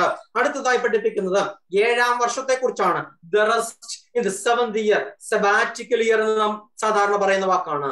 ലേവ്യ പുസ്തകം ഇരുപത്തി അഞ്ചാം അധ്യായത്തിൽ പഠിപ്പിക്കുന്നുണ്ട്. ഏഴാം മാസം ഏഴാം വർഷം അത് സ്വസ്ഥതയുടെ വർഷമാകണം. അത് ഭൂമിയുടെ സ്വസ്ഥതയുടെ വർഷമാണ്. അത് ദേശത്തിന്റെ സ്വസ്ഥതയുടെ വർഷമാണ്. അതിന് നീതിയുടെ സാർവത്രികത സാർവത്രികത ഉണ്ടാകണം. നിന്റെ കുടുംബത്തിലും നിന്റെ ദാസന്മാരായിട്ടുള്ളവർക്ക് സകലർക്കും അത് സ്വസ്ഥതയുടെ കാലമായിരിക്കണം. ഭൂമി നീ കൃഷി ചെയ്യുകയല്ല സ്വാഭാവികമായി വിളയുന്നത് മാത്രം നീ എടുക്കണം എന്ന് പറഞ്ഞ് എല്ലാറ്റിനും ഒരു സ്വസ്ഥത കൽപ്പിക്കണം. എന്നും കഠിനാധ്വാനം ചെയ്യുന്നത് കൊണ്ട് മാത്രമല്ല നമ്മൾ പുലരുന്നത് എന്ന് നീ ഓർക്കണം. അതാണ് പറഞ്ഞതിന്റെ പ്രമാണം. നമ്മളുടെ അധ്വാനം കൊണ്ട് മാത്രമല്ല എല്ലാം നടക്കുന്നത്. സ്വർഗസ്ഥനായ പിതാവിന്റെ കരുതൽ കൊണ്ടുകൂടിയാണ് എന്ന് ഓർമ്മിപ്പിക്കുന്നതിനാണ് സെബാറ്റിക്കൽ ഇയർ ഏഴാം സംവത്സരത്തിലെ സ്വസ്ഥത. ആ ഭാഗം അവസാനിപ്പിക്കട്ടെ. The rest in the fiftieth year jubilee year യോവേൽ സംവത്സരം അൻപതാം വർഷത്തിന്റെ സ്വസ്ഥത. അൻപതാം വർഷത്തിന്റെ സ്വസ്ഥത യോവേൽ സംവത്സരം അല്ലെങ്കിൽ ജൂബിലി ഇയർ എന്ന് പറയുന്നത് അത് സകല നിവാസികൾക്കുമുള്ള സ്വാതന്ത്ര്യത്തിന്റെ കാലമാണ്. അത് ശുദ്ധീകരണത്തിന്റെ കാലമാണ്. അത് വിമോചനത്തിന്റെ കാലമാണ്. അത് വീണ്ടെടുപ്പിന്റെ കാലമാണ്. അത് അവകാശങ്ങളെ തിരിച്ചുപിടിക്കുന്ന കാലമാണ്. അത് കടബാധ്യതകളെല്ലാം തീർക്കേണ്ടുന്ന കാലമാണ്. യോവേൽ സംവത്സരം the rest in the fiftieth year jubilee വർഷമാണ്. യോവേൽ സംവത്സരത്തിൽ കടമുണ്ടാകാൻ പാടില്ല. അന്യരുടേതൊന്നും പിടിച്ചു വെക്കാൻ പാടില്ല. അപ്പോൾ സ്വസ്ഥത എന്നതിനെ പഴയ നിയമ പ്രമാണം പഠിപ്പിക്കുന്നത് ദൈവം കൽപ്പിച്ച നമുക്ക് തരുന്നു എന്ന് മാത്രമല്ല ദൈവത്തിന്റെ ജനം മറ്റുള്ളവരോട് പാലിക്കേണ്ടെന്ന പ്രമാണത്തിനാണ് അപ്പോൾ സ്വസ്ഥത എന്ന് പ്രധാനമായിട്ട് പഠിപ്പിക്കുക. നമ്മൾ ഓർക്കണം വിടുതൽ ലഭിക്കുക മാത്രമല്ല വിടുതൽ പ്രസംഗിക്കാനും നമുക്ക് പറ്റണം. മറ്റുള്ളവർക്ക് വിടു മറ്റുള്ളവരെ വിടുവിക്കുന്നവരാകാൻ നമുക്ക് പറ്റണം. മറ്റുള്ളവർക്ക് വിമോചനം കൊടുക്കുന്നവരാകാൻ പറ്റണം. അത് ഒന്നാം ഭാഗത്ത് വേദപുസ്തകം ഓർമ്മിപ്പിക്കുന്നു. രണ്ടാം ഭാഗം എബ്രാഹിർക്ക് എഴുതിയ ലേഖനം നാലാം അധ്യായത്തിൽ പ്രതിപാദിക്കുന്ന പ്രധാനപ്പെട്ട വിഷയം. രണ്ടാമത്തെ ചിന്ത Sabbath the rest entry in the promised land entry in the promised land വാഗ്ദത്ത നാട്ടിലേക്കുള്ള പ്രവേശനം സ്വസ്ഥത. ശാപത്ത് അനുഭവം സ്വസ്ഥത വാഗ്ദത്ത നാട്ടിലേക്കുള്ള പ്രവേശനം. വീണ്ടെടുപ്പിന്റെ വിവരണം സുഗ്രാഹ്യമാകുന്നതിന് പല തവണയായി വേദപുസ്തകത്തിൽ പുതിയ നിയമത്തിൽ വ്യാഖ്യാനിക്കുന്നത് പുറപ്പാട് സംഭവത്തെയാണ്. കാലാകാലങ്ങളിലായി ഇസ്രായേൽ ജനത്തിന് വാഗ്ദാനം ചെയ്യപ്പെട്ട മോശയിലൂടെ പ്രസംഗിക്കപ്പെട്ട വിമോചനം. ആ വിമോചനത്തിന്റെ പൂർത്തീകരണം ഉണ്ടാകുന്നത് പാലും തേനും ഒഴുകുന്ന കനാൻ നാട്ടിലേക്ക് പ്രവേശിക്കുമ്പോഴാണ്. അപ്പോൾ മിശ്രൈമി ഫറവോന്റെ അടിമത്തത്തിൽ നിന്ന് ഇസ്രായേൽ ജനം ഇറങ്ങി പുറപ്പെട്ടത് തങ്ങൾക്ക് വേണ്ടിയിട്ട് പാലും തേനും ഒഴുകുന്ന ഒരു കനാൻ നാട് ഒരു വാഗ്ദത്ത ഭൂമി ഉണ്ട് എന്ന വിശ്വാസത്തിലാണ് നമ്മളെല്ലാവരും ഈ രാക്കാലത്തും പലതരത്തിലുള്ള ജോലി കഷ്ടപ്പാട് ബത്തപ്പാടുകൾക്ക് എല്ലാം ഒടുവിൽ എന്ന് ദൈവവചന കേൾവിക്ക് വേണ്ടിയിട്ട് ഇത്രയും സമയം ചെലവഴിക്കുന്നത് നമുക്കും ഒരു വാഗ്ദത്ത നിവർത്തി ഉണ്ട് എന്നതിന്റെ ഒരു കൊതിയിലാണ് ആ വലിയ പ്രതീക്ഷയിലാണ്. അപ്പോൾ പുറപ്പാട് സംഭവം വിവരിക്കുന്നത് ഒരു വാഗ്ദത്ത ഭൂമി നമുക്ക് വേണ്ടിയിട്ട് ഒരുക്കപ്പെട്ടിട്ടുണ്ട് എന്നതാണ്. എന്നാൽ വേദപുസ്തകം പഠിപ്പിക്കുന്നുണ്ട്. വിശുദ്ധ പൗലോസ് കൊരിന്തിയർക്ക് എഴുതിയ ഒന്നാം ലേഖനം പത്താം അധ്യായത്തിൽ അത് ഓർമ്മിപ്പിക്കുന്നുണ്ട്. ഇങ്ങനെ പുറപ്പെട്ടവരായി എല്ലാവർക്കും ഈ വാഗ്ദത്ത ഭൂമിയിലേക്ക് പ്രവേശിക്കാനായിട്ട് കഴിഞ്ഞില്ല. എബ്രായർക്ക് എഴുതിയ ലേഖനം നാലാം അധ്യായം അതിന്റെ രണ്ടാമത്തെ വാക്യം പഠിപ്പിക്കുന്നു. അവരെ പോലെ നാമും ഒരു സദ്വർത്തമാനം കേട്ടവർ ആകുന്നു എങ്കിലും കേട്ടവരിൽ വിശ്വാസമായി പരിണമിക്കായ കൊണ്ട് കേട്ട വചനം അവർക്ക് ഉപകാരമായി വന്നില്ല. എന്നാൽ പറഞ്ഞതിന്റെ അർത്ഥം ഇന്ന് എന്നെ ഇപ്പോൾ കേട്ടുകൊണ്ടിരിക്കുന്നവരും ഇത് കഴിഞ്ഞ് യൂട്യൂബിൽ കേട്ടാലും ശരി എവിടെ നിന്നെല്ലാം ആരിലൂടെയൊക്കെ ഉള്ള ദൈവവചനം കേട്ടാലും കേട്ടവരിൽ അത് വിശ്വാസമായി പരിണമിക്കാതെ ഇരുന്നാൽ കേഴുകൊണ്ട് യാതൊരു പ്രയോജനമില്ല ഇത് എത്രാമത്തെ കൺവെൻഷനിലാണ് പങ്കെടുക്കുന്നത് എന്നതിന് പ്രസക്തിയില്ല. കേട്ടത് വിശ്വാസമായി പരിണമിച്ചുവോ എന്നതാണ് പരമപ്രധാനമായ ചോദ്യം. ഇവിടെ പഠിപ്പിക്കുന്നു ഇസ്രായേൽ ജനത്തിന് അവർക്ക് മിശ്രൈമിനെ അടിമത്തത്തിൽ വിടുതൽ പ്രാപിച്ച് അവർ കനാൻ നാടിന്റെ സൗഭാഗ്യത്തിലേക്ക് എല്ലാവരും ക്ഷണിക്കപ്പെട്ടവരായിരുന്നു. എന്നാൽ അവരിൽ മിക്ക പേരിലും ദൈവം പ്രസാദിച്ചില്ല. ഒന്ന് കുരന്ത്യർ പത്താം അധ്യായം. ഒന്ന് മുതലുള്ള വാക്യങ്ങൾ. വേഗത്തിൽ വായിക്കട്ടെ. സഹോദരന്മാരെ നമ്മുടെ പിതാക്കന്മാർ എല്ലാവരും മേഘത്തിന് കീഴിലായിരുന്നു. എല്ലാവരും സമുദ്രത്തിലൂടെ കടന്ന് എല്ലാവരും മേഘത്തിലും സമുദ്രത്തിലും സ്നാനമേറ്റ് മോശയോട് ചേർന്നു. എല്ലാവരും ഒരേ ആത്മീയ ആഹാരം തിന്ന് എല്ലാവരും ഒരേ ആത്മീയ പാനീയം കുടിച്ചു. അവരെ അനുഗമിച്ച ആത്മീയ പാറയെന്നല്ലോ അവർ കുടിച്ചത്. ആ പാറ ക്രിസ്തു ആയിരുന്നു എങ്കിലും അവരിൽ മിക്ക പേരിലും ദൈവം പ്രസാദിച്ചില്ല. അവരെ മരുഭൂമിയിൽ തള്ളിയിട്ട് കളഞ്ഞു എന്ന് നിങ്ങൾ അറിയാതിരിക്കരുത് എന്ന് ഞാൻ ആഗ്രഹിക്കുന്നു. ഇത് നമുക്ക് ദൃഷ്ടാന്തമായി സംഭവിച്ചു. എന്താ പറഞ്ഞത്? ദൈവത്തിന്റെ വിളി കേട്ട പുറപ്പെട്ട ദൈവവചനം കേട്ടവരിൽ പലരും ആ വിശ്വാസത്തിൽ സ്വീകരിക്കാതെ അവ അവരിൽ മിക്ക പേരിലും ദൈവം പ്രസാദിച്ചില്ല. അവരിൽ ഏറിയ പങ്കാളികളെയും മരുഭൂമിയെ തള്ളിയിട്ട് കളഞ്ഞു എന്ന് നിങ്ങൾ മനസ്സിലാക്കണം. അത് നമുക്ക് ദൃഷ്ടാന്തത്തിനായി ഭവിച്ചതാണ്. ഇപ്പോൾ നാം വായിച്ച ഭാഗത്തും അങ്ങനെയാണ്. അവരെ പോലെ നാമും സദ്വർത്തമാനം കേട്ടവരാണ്. എങ്കിലും കേട്ടവരിൽ വിശ്വാസമായി പരിണമിക്കായികൊണ്ട് കേട്ട വചനം അവർക്ക് ഉപകാരമായി വന്നില്ല. ദൈവവചനം കേട്ട ഇസ്രായേൽ ജനത്തിൽ പലർക്കും ഈ കനാൻ നാടിന്റെ സൗഭാഗ്യതയിലേക്ക് പ്രവേശിക്കാൻ കഴിഞ്ഞില്ല. എന്തുകൊണ്ടാണ് അവർക്ക് ദൈവവചനം ലഭിച്ചിട്ടും അവർക്ക് രക്ഷയുടെ പൂർത്തീകരണം സാധ്യമാകാത്തത്? അവർക്ക് സ്വസ്ഥതയിലേക്ക് പ്രവേശിക്കാൻ കഴിയാതെ പോയത് എന്തുകൊണ്ടാണ്? ഈ വേദഭാഗം ഓർമ്മിപ്പിക്കുന്നു. മൂന്നാം അധ്യായം എബ്രാഹിം എഴുത ലേഖനം മൂന്നാം അധ്യായം രണ്ടും വാക്യം. മോശ ദൈവഭവനത്തിലൊക്കെയും വിശ്വസ്തനായിരുന്നത് പോലെ യേശുവും തന്നെ നിയമിച്ചാക്കിയവന് വിശ്വസ്തൻ ആകുന്നു. തുടർന്നുള്ള വാക്യങ്ങൾ പഠിക്കുമ്പോൾ നമുക്ക് കാണാൻ കഴിയുന്നത് ഇസ്രായേൽ ജനം യഹോവ ദൈവത്തോട് വിശ്വസ്തത പുലർത്തിയിരുന്നില്ല. അതുകൊണ്ടാണ് അവർ മരുഭൂമിയിൽ വീണുപോയത് അല്ലെങ്കിൽ സ്വസ്ഥതയിലേക്ക് പ്രവേശിക്കാതിരുന്നത്. ഇസ്രായേൽ ജനത്തിന്റെ അവിശ്വസ്തത ഇസ്രായേൽ ജനത്തിന്റെ അവിശ്വസ്തത അവരെ മരുഭൂമിയിൽ തള്ളിയിട്ട് കളഞ്ഞു അല്ലെങ്കിൽ അവർക്ക് സ്വസ്ഥത അവർക്ക് വാഗ്ദാനം ചെയ്യപ്പെട്ട വാഗ്ദത്ത ഭൂമി കനാൻ നാട് സ്വസ്ഥതയിലേക്ക് പ്രവേശിക്കുന്നതിന് തടസ്സമായി നമ്മൾ ദൈവം മുമ്പാകെ വിശ്വസ്തരായിരിക്കണം. മോശ ദൈവം മുമ്പാകെ വിശ്വസ്തനായിരുന്നു. യേശു ദൈവം മുമ്പാകെ വിശ്വസ്തനായിരുന്നു. അതുകൊണ്ട് ദൈവജനവും ദൈവത്തോട് എല്ലായ്പ്പോഴും വിശ്വസ്തരായിരിക്കണം. നമ്മൾ വിശ്വസ്തരല്ലെങ്കിൽ മത്സരികളാകും. മക്കൾ അപ്പനമ്മമാരുടെ വിശ്വസ്തരല്ലെങ്കിൽ അവർ മത്സരികളാകും. നമ്മൾ ജീവിത പങ്കാളിയോട് വിശ്വസ്തരല്ലെങ്കിൽ നമ്മൾ മത്സരികളാകും. നമ്മൾക്കൊരു സ്ഥാപനത്തോട് വിശ്വസ്തതയില്ലെങ്കിൽ നമ്മൾ മത്സരികളാകും. നാം സ്വർഗത്തോട് വിശ്വസ്തതയില്ലെങ്കിൽ നാം സ്വർഗത്തോട് മത്സരികളാകും എന്ന് നമ്മൾ ഓർക്കണം. സംഖ്യാപുസ്തകം ഇരുപത്തി ഒന്നാം അധ്യായത്തിൽ അവർ സങ്കടപ്പെടുന്ന അങ്ങനെയാണ്. അവർക്ക് ദൈവം ഭക്ഷിപ്പാനായിട്ട് മന്ന കൊടുത്തിട്ടും അവർ പറയുന്നത് ഈ സാരമില്ലാത്ത ആഹാരം ഞങ്ങൾക്ക് മടുത്തു. ദൈവം ദാനം തന്നിട്ടും അതിനെ തൃപ്തിയോടെ അനുഭവിക്കാൻ അവർക്ക് പറ്റാഞ്ഞത് കൊണ്ടാണ് അവരുടെ ഇടയിൽ അഗ്നിസർപ്പം ഇറങ്ങി അവരിൽ ധാരാളം പേര് മരുഭൂമിയിൽ വീണുപോയത്. പെട്ടെന്ന് അവസാനിപ്പിക്കട്ടെ പ്രിയപ്പെട്ടവരെ ഓർക്കുക. ദൈവം നമുക്ക് തന്ന നമ്മോട് ചെയ്തിരിക്കുന്ന വലിയ കരുണ ദൈവം നമുക്ക് തന്നിരിക്കുന്ന നന്മകളെ നമ്മൾ മറന്നു കളഞ്ഞാൽ നാം ദൈവത്തോട് അവിശ്വസ്തരായാൽ നമ്മൾ ദൈവത്തോട് മത്സരികളാവുകയും നാം വീണുപോവുകയും ചെയ്യും. ദൈവം നമുക്ക് തന്നിരിക്കുന്ന വാഗ്ദത്വത്തിൽ ദൈവം വിശ്വസ്തനാണ്. നാമം ദൈവത്തോട് വിശ്വസ്തരായിരിക്കണം. യാതൊന്നിലും നമ്മൾ അവിശ്വസ്തത കാണിക്കാനായി പാടില്ല. ദൈവത്തോട് മത്സരിക്കുമ്പോൾ നാം ആരോടെങ്കിലും മത്സരിക്കുമ്പോൾ അവരിൽ നിന്നും നാം സ്വീകരിച്ചിരിക്കുന്ന നന്മകളെ ബോധപൂർവമായി തന്നെ തമസ്കരിക്കാൻ നമ്മൾ നിർബന്ധിതരാകും. നമുക്കൊരാളിനോട് സ്നേഹം കുറവ് തോന്നിയാൽ നമുക്ക് പിന്നെ അയാളിൽ നിന്നുള്ള നന്മകളെയെല്ലാം ഇല്ലെന്ന് പറയാനുള്ള ഒരു ടെൻഡൻസി ഉണ്ട്. അത് നമ്മുടെ കുടുംബത്തിനകത്താണെങ്കിലും പുറത്താണെങ്കിലും നമ്മുടെ പ്രവർത്തന മേഖലകളാണെങ്കിലും നമ്മുടെ സുഹൃത്താണെങ്കിലും ആരാണെങ്കിലും ഒരാളിനോടുള്ള പിണക്കം അയാളുടെ നന്മകളെ മുഴുവൻ മായിക്കാൻ പ്രേരിപ്പിക്കുന്നത് പോലെ ദൈവത്തോടുള്ള അവിശ്വസ്തത ദൈവത്തിന് പ്രാപിച്ചിരിക്കുന്ന നന്മകളെ മുഴുവൻ മറക്കാൻ പ്രേരിപ്പിക്കും. അത് നമ്മുടെ ജീവിതത്തിന് നാശത്തിന് കാരണമാകും എന്ന് ഓർക്കണം. രണ്ട് എബ്രാഹിം ലേഖനം മൂന്നാം അധ്യായം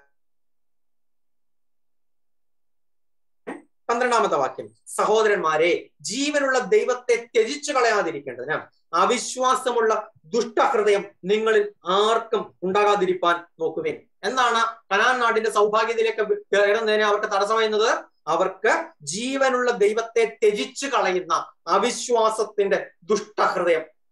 അവിശ്വാസം ഒന്നാമത്തെ പ്രശ്നം അവിശ്വസ്തതയായിരുന്നെങ്കിൽ രണ്ടാമത്തെ പ്രശ്നം അവിശ്വാസമാണ്. സംഖ്യാപുസ്തകം പതിമൂന്നും പതിനാലും അധ്യായങ്ങൾ വായിക്കുമ്പോൾ മോശയുടെ കാലയളവിൽ ഒരു കൂട്ടം ആളുകളെ കനാൻ നാടിന്റെ അനുഭവങ്ങൾ ഉറ്റുനോക്കുന്നതിന് അയച്ചു.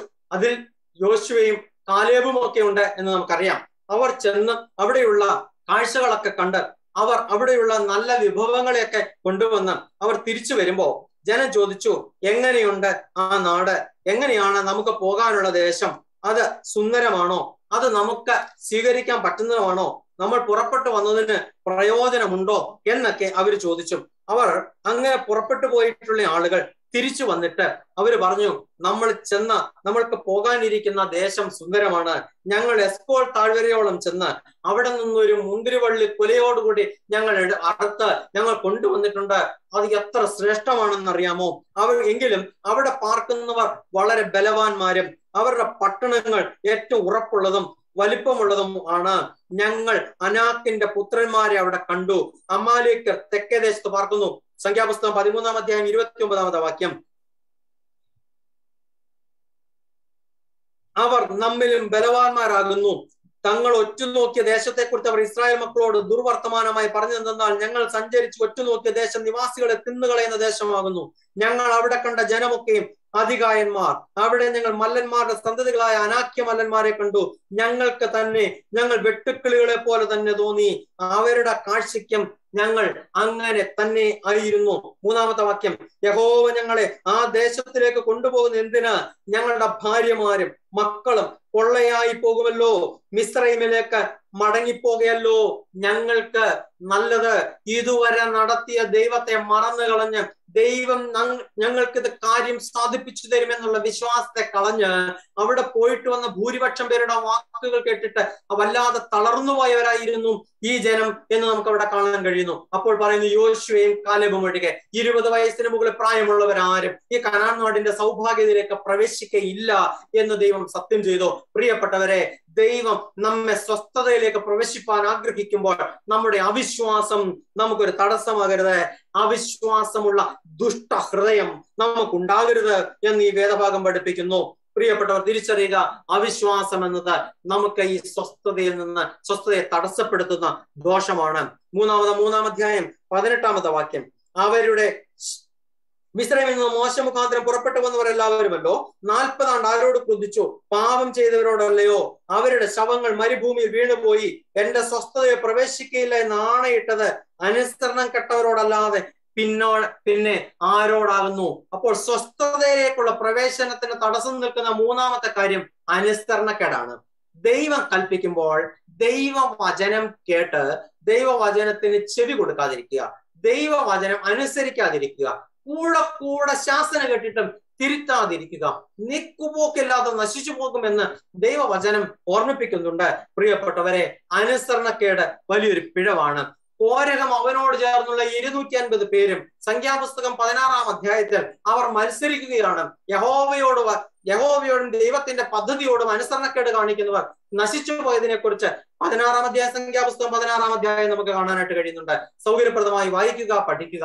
പ്രിയപ്പെട്ടവരെ ഞാൻ പറയാനായിട്ട് ശ്രമിക്കുന്നത് അനുസരണക്കേട് നിമിത്തം ആരും ദൈവത്തിന്റെ സ്വസ്ഥതയിൽ നിന്ന് അകന്നു പോകരുത് കാരണം ദൈവത്തിന്റെ വചനം തീഷ്ണയുള്ള തീഷ്ണതയുള്ളതാണ്. നാലാം അധ്യായം പന്ത്രണ്ടാമത്തെ വാക്യം പഠിപ്പിക്കുന്നു. ദൈവത്തിന്റെ വചനം ജീവനും ചൈതന്യവുമുള്ളതായി. ഇരുവായ്ത്തലയുള്ള ഏത് വാളിനേക്കാളും മൂർച്ചയേറിയതും പ്രാണനെയും ആത്മാവിനെയും സന്ധി മജ്ജകളെയും വേർവിടുവിക്കും വരെ തുളച്ചു ചെല്ലുന്നതും ഹൃദയത്തിലെ ചിന്തനങ്ങളെയും ഭാവങ്ങളെയും വിവേചിക്കുന്നതുമാകുന്നു. അവന് മറഞ്ഞിരിക്കുന്ന ഒരു സൃഷ്ടിയുമില്ല. സകലവും അവന്റെ കണ്ണിന് നഗ്നവും മലർന്നതുമായി കിടക്കുന്നു. അവനുമായിട്ടാണ് നമുക്ക് കാര്യമുള്ളത്. അവനുമായിട്ടാണ് നമുക്ക് കാര്യമുള്ളത് എന്നതുകൊണ്ട് തന്നെ അവനെ അനുസരിക്കാൻ നാം കടപ്പെട്ടവരാണ്.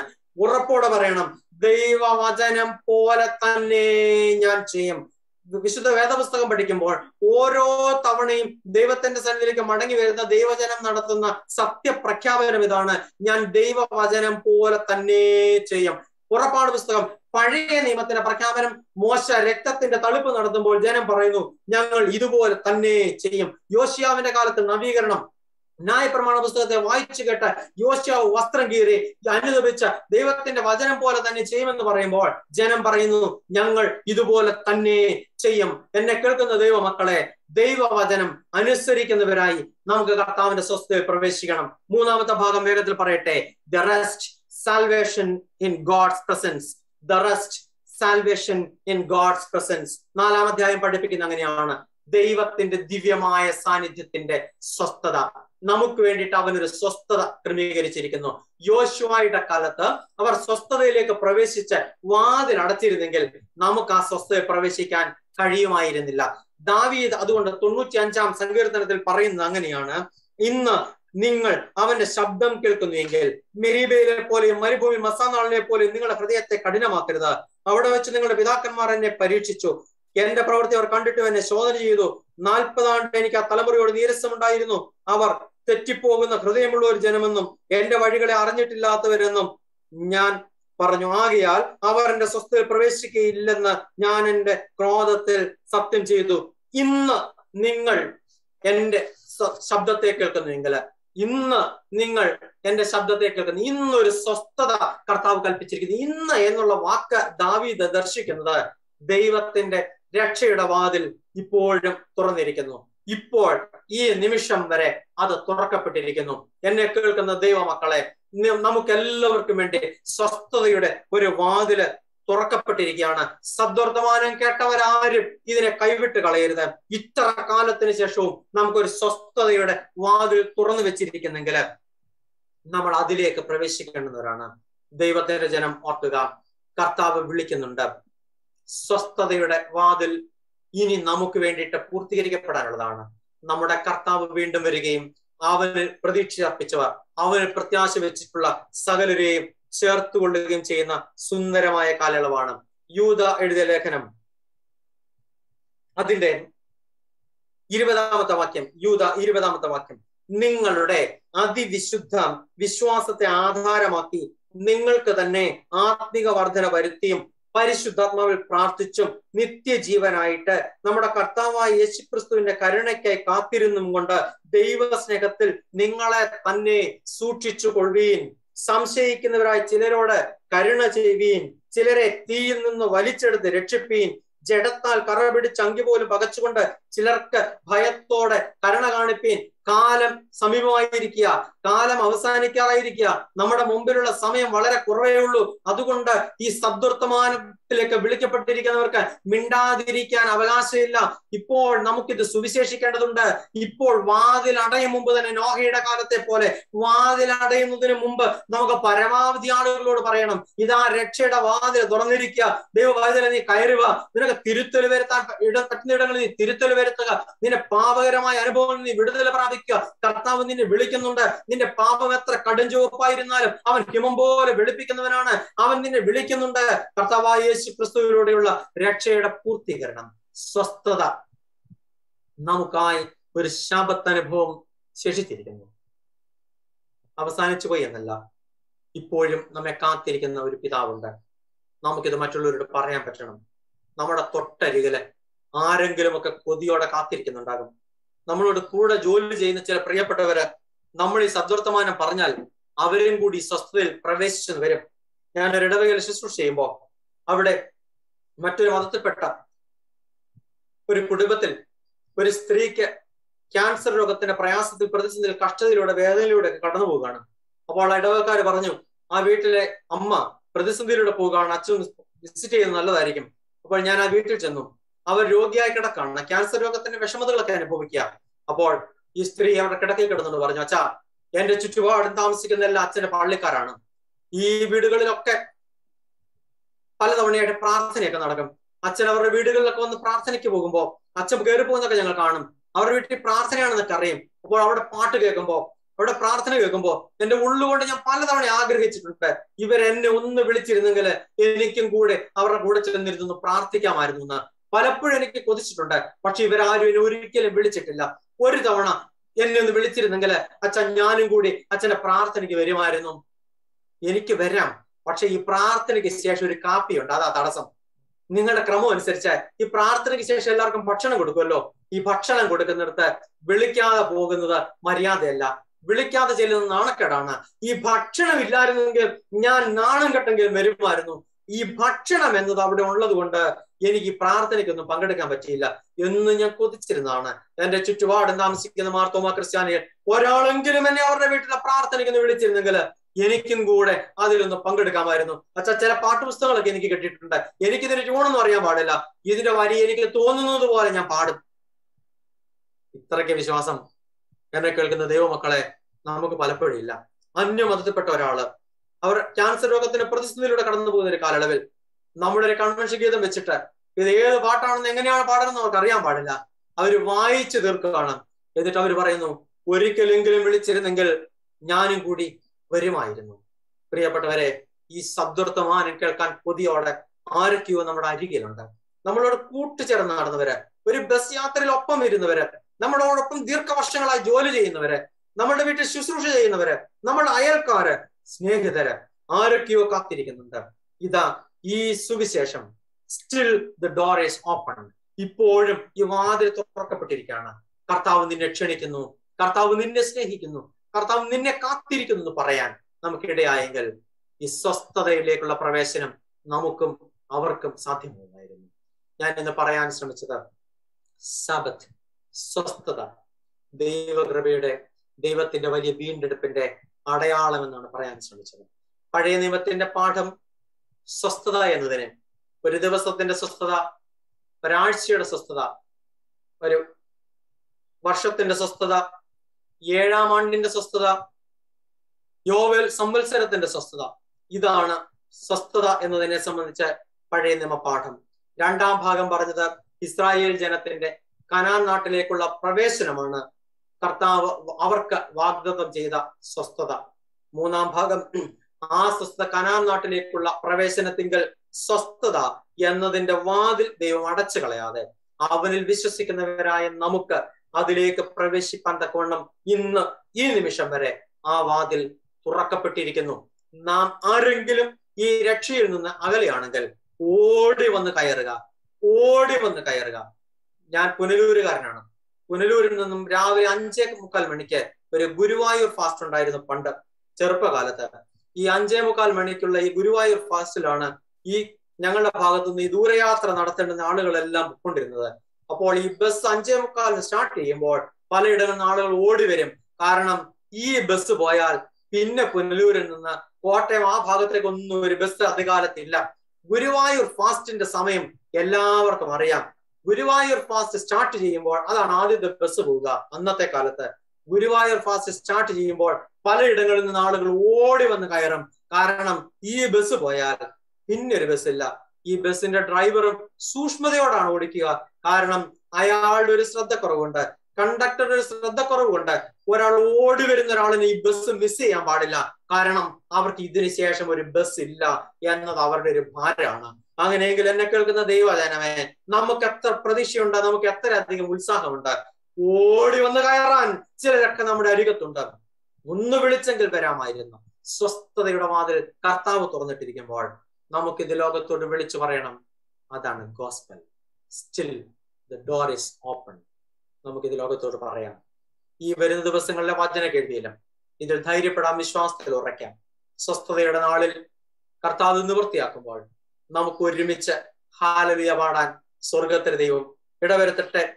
ദൈവത്തിന്റെ മഹിമാസന്നിധിയിൽ കളങ്കമില്ലാത്തവരായി ആനന്ദത്തോടെ നിൽക്കാൻ സ്വർഗത്തിലെ ദൈവം ഇന്നത്തെ വാചന കേൾവിയിൽ പങ്കുകാരായ സകലർക്കും ഇടവരുത്തട്ടെ എന്ന് ആത്മാർത്ഥമായി പ്രാർത്ഥിക്കുന്നു ആഗ്രഹിക്കുന്നു. ദൈവം നമ്മെ തുണയ്ക്കട്ടെ ഈ നല്ല അവസരം തന്ന ഇടവയ്ക്കോട്ടെ ബഹുമാനുള്ള അച്ഛന്മാരോട് പ്രിയപ്പെട്ടതോടെ ഒരിക്കൽ കൂടി നന്ദി അറിയിക്കുന്നു. കർത്താവിന്റെ വീണ്ടും വരവനായി നമുക്ക് എല്ലാവർക്കും ഒരുങ്ങാം.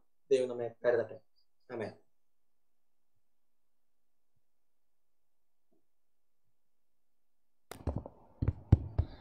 പ്രാർത്ഥിക്കാം. മഹാപരിശുദ്ധനും നിത്യനുമായിരിക്കുന്ന ഞങ്ങളുടെ ദൈവമേ സ്വർഗീയ നല്ല പിതാവേ നല്ല രാത്രിക്കായിട്ട് വീണ്ടും സ്തുതിക്കുന്നു സ്തോത്രം ചെയ്യുന്നു കർത്താവേ. ഇടവയുടെ കൺവെൻഷനായിട്ട് കർത്താവെ അതിന്റെ പ്രാരംഭ ദിവസത്തിൽ അടിയങ്ങൾക്ക് ഒന്നിച്ച് കൂടി വരുവാൻ തക്കവണ്ണം സ്വർഗത്തിലെ ദൈവമേ അവിടുന്ന് അടിയങ്ങളെ സഹായിച്ച വലിയ കൃപയ്ക്കായിട്ട് നന്ദിയോടെ നന്ദിയോടെ ഞങ്ങളങ്ങേ സ്തുതിക്കുന്നു സ്തോത്രം ചെയ്യുന്നു കർത്താവെ. കടന്നു വന്ന നിമിഷം മുതൽ അവിടുത്തെ മാറ്റമില്ലാത്ത സാന്നിധ്യത്തിന്റെ മറവിൽ മറച്ചു നിർത്തി അടിയങ്ങളെ അനുഗ്രഹിച്ചുകൊണ്ടിരിക്കുന്ന വലിയ കൃപയ്ക്കായിട്ട് സ്തോത്രം കർത്താവെ. കടന്നു വന്നപ്പോൾ അനുഗ്രഹിക്കപ്പെട്ട പാട്ടുകളെ ദൈവം ദാനമായിട്ട് അടിയങ്ങൾ നാവിന്മേൽ തന്നുവല്ലോ. അനുഗ്രഹിക്കപ്പെട്ട സങ്കീർത്തനം വായിച്ച് മധ്യസ്ഥരണയ്ക്കുവാൻ തക്കവണ്ണം അവിടെ നടിയങ്ങളെ സഹായിച്ചുവല്ലോ കർത്താവെ. നന്ദിയോടെ സ്തുതിക്കുന്നു സ്തോത്രം ചെയ്യുന്നു കർത്താവെ അല്പസമയം അവിടുത്തെ പാതപീഠത്തെങ്കിലായിരുന്നപ്പോൾ സ്വർഗീയ ദൈവമേടിയങ്ങളെ കേൾപ്പിച്ച വചനത്തിനായിട്ട് നന്ദിയോടെ സ്തുതിക്കുന്നു സ്തോത്രം ചെയ്യുന്നു. ആ രക്ഷയുടെ വാതിൽ അടിയങ്ങൾക്ക് വേണ്ടി ഇപ്പോഴും തുറന്നിട്ട് അടിയങ്ങളെ ഓരോരുത്തരെയും ഇപ്പോഴും വിളിച്ചുകൊണ്ടിരിക്കുന്ന ആ വിടുതലിന്റെ ദൈവത്തെ ഇന്ന് രാത്രി കാലം അടിയങ്ങൾക്ക് അടിയങ്ങളെ കേൾപ്പിച്ചതിനായിട്ട് നന്ദിയോടെ സ്തുതിക്കുന്നു സ്തോത്രം ചെയ്യുന്നു കർത്താവെ. ഹാലേലിയ കർത്താവെ ആ കർത്താവിന്റെ സ്വസ്ഥതയിൽ അടിയങ്ങൾക്ക് ഓരോരുത്തർക്കും പ്രവേശിപ്പാൻ തക്കവണ്ണം അവിടുത്തെ അടിയങ്ങളെ ആഹ്വാനം ചെയ്തല്ലോ. അടിയതിനായിട്ട് അടിയങ്ങളെ തന്നെ കരങ്ങളിലേക്ക് താഴ്ത്തി ഏൽപ്പിക്കുന്നു കർത്താവെ. അതിന് കർത്താവെ അടിയങ്ങളുടെ ജീവിതത്തിൽ വന്നു പോയിട്ടുള്ള അനുസരണക്കേട് അവിശ്വാസം ഇതൊന്നും അതിനെ കർത്താവെ തടസ്സമായി നിൽക്കാതെ കർത്താവെ അടിയങ്ങളെ ഓരോരുത്തരെയും സഹായിക്കണമേ എന്ന് പ്രാർത്ഥിക്കുന്നു കർത്താവെ. അതിനായിട്ട് അടിയങ്ങളെ എല്ലാവരെയും ഒരു പ്രാവശ്യം കൂടി കരങ്ങളിലേക്ക് താഴ്ത്തി ഏൽപ്പിക്കുന്നു കർത്താവെ. ഇന്ന് രാത്രി കാലം ഈ വചനം ശ്രവിച്ച ഓരോ വ്യക്തി ജീവിതങ്ങളെയും അപ്പന്റെ കരങ്ങളിലേക്ക് അടിയങ്ങളെ ഏൽപ്പിച്ച് പ്രാർത്ഥിക്കുന്നു കർത്താവെ. ഓരോ വ്യക്തി ജീവിതങ്ങളെയും അവിടുന്ന് ബലപ്പെടുത്തണമേ ശക്തീകരിക്കണമേ എന്ന് പ്രാർത്ഥിക്കുന്നു. ആരും നഷ്ടപ്പെട്ടു പോകാനിടയാകാതെ കർത്താവിന്റെ ആ മഹത്വ പ്രത്യക്ഷതയെങ്കിൽ കർത്താവെ എല്ലാവരും ഒന്നിച്ച് ദൈവത്തെ എതിരേൽപ്പാൻ തക്കവണ്ണം ആ ദൈവത്തെ മഹത്വപ്പെടുത്തുവാൻ തക്കവണ്ണം ഓരോരുത്തരെയും സഹായിക്കണമേ എന്ന് പ്രാർത്ഥിക്കുന്നു. കർത്താവെ തുടർന്ന് നാളെയും മറ്റന്നാളും നടക്കുന്നതായ കൺവെൻഷനെയും കരങ്ങളിലേക്ക് ഏൽപ്പിച്ച് പ്രാർത്ഥിക്കുന്നു. അവിടെയും വചനം ഘോഷിക്കുന്ന അവിടുത്തെ ദാസന്മാർക്കായിട്ട് സ്തോത്രം ചെയ്യുന്ന കർത്താവെ. നിന്റെ മക്കളെ അവിടുന്ന് ബലപ്പെടുത്തുമാറാകണമേ എന്ന് പ്രാർത്ഥിക്കുന്നു. ദൈവകൃപയിൽ മറച്ചു നിർത്തി കർത്താവെ അനുഗ്രഹിക്കപ്പെട്ട വചനം വിഭാഗിച്ചു തരുവാൻ തക്കവണ്ണം നിന്റെ മക്കളിൽ കൂടി അവിടുന്ന് സഹായിക്കുമാറാകണമേ എന്ന് പ്രാർത്ഥിക്കുന്നു. പ്രാർത്ഥന അവിടുന്ന് ശ്രദ്ധിച്ചു കേട്ടിരിക്കാൻ സ്തോത്രം ചെയ്യുന്ന. മാനവും മഹത്വം അവിടുന്ന് തന്നെ എടുത്താട്ടെ. സകലത പടിയങ്ങൾക്ക് വേണ്ടി ജീവനെ തന്ന യേശുവിൻ നാമത്തിൽ അപേക്ഷിക്കുന്നു. കരുണയോടെ കേൾക്കണമേ. ആമീൻ. ഇപ്പോൾ ഗായക സംഘം ഒരു ഗാനം ആലപിക്കുകയും ആ സമയത്ത് സ്തോത്രാഴ്ച ശേഖരിക്കുന്നതാണ്. The choir shall sing a song and the offertory will be taken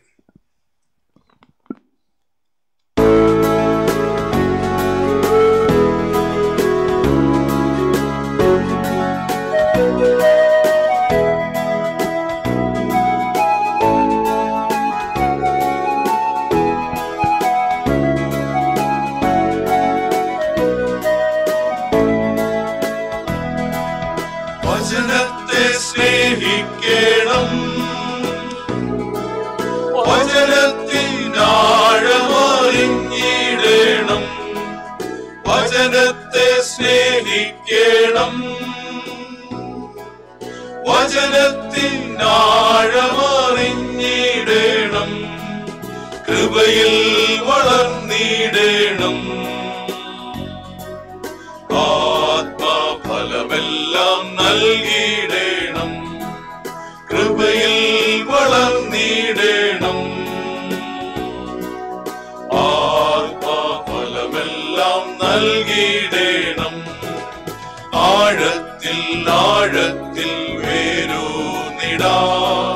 ഉയരത്തിൽ ഫലമാർന്നിടാ.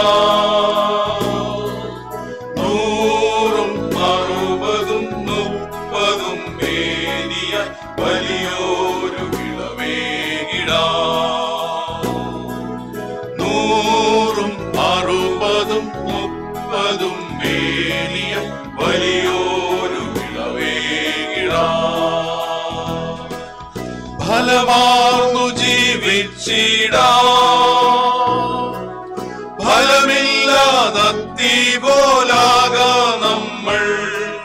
ഫലമാർന്നു ജീവിച്ചിടാം. ഫലമില്ലാതീ പോലാകാ നമ്മൾ.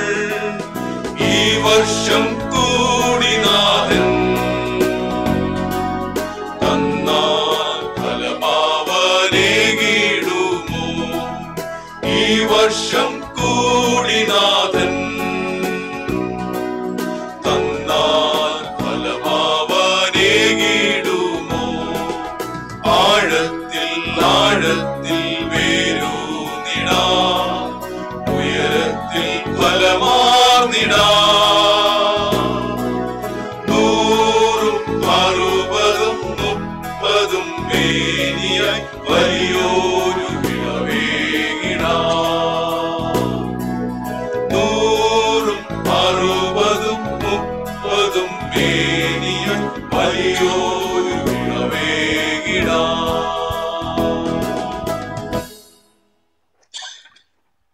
ഈ പാരീഷ് കൺവെൻഷന്റെ കൺവീനറായിരിക്കുന്ന ശ്രീമാൻ അജി തോമസ് അവർകൾ ഇപ്പോൾ നന്ദി രേഖപ്പെടുത്തുന്ന.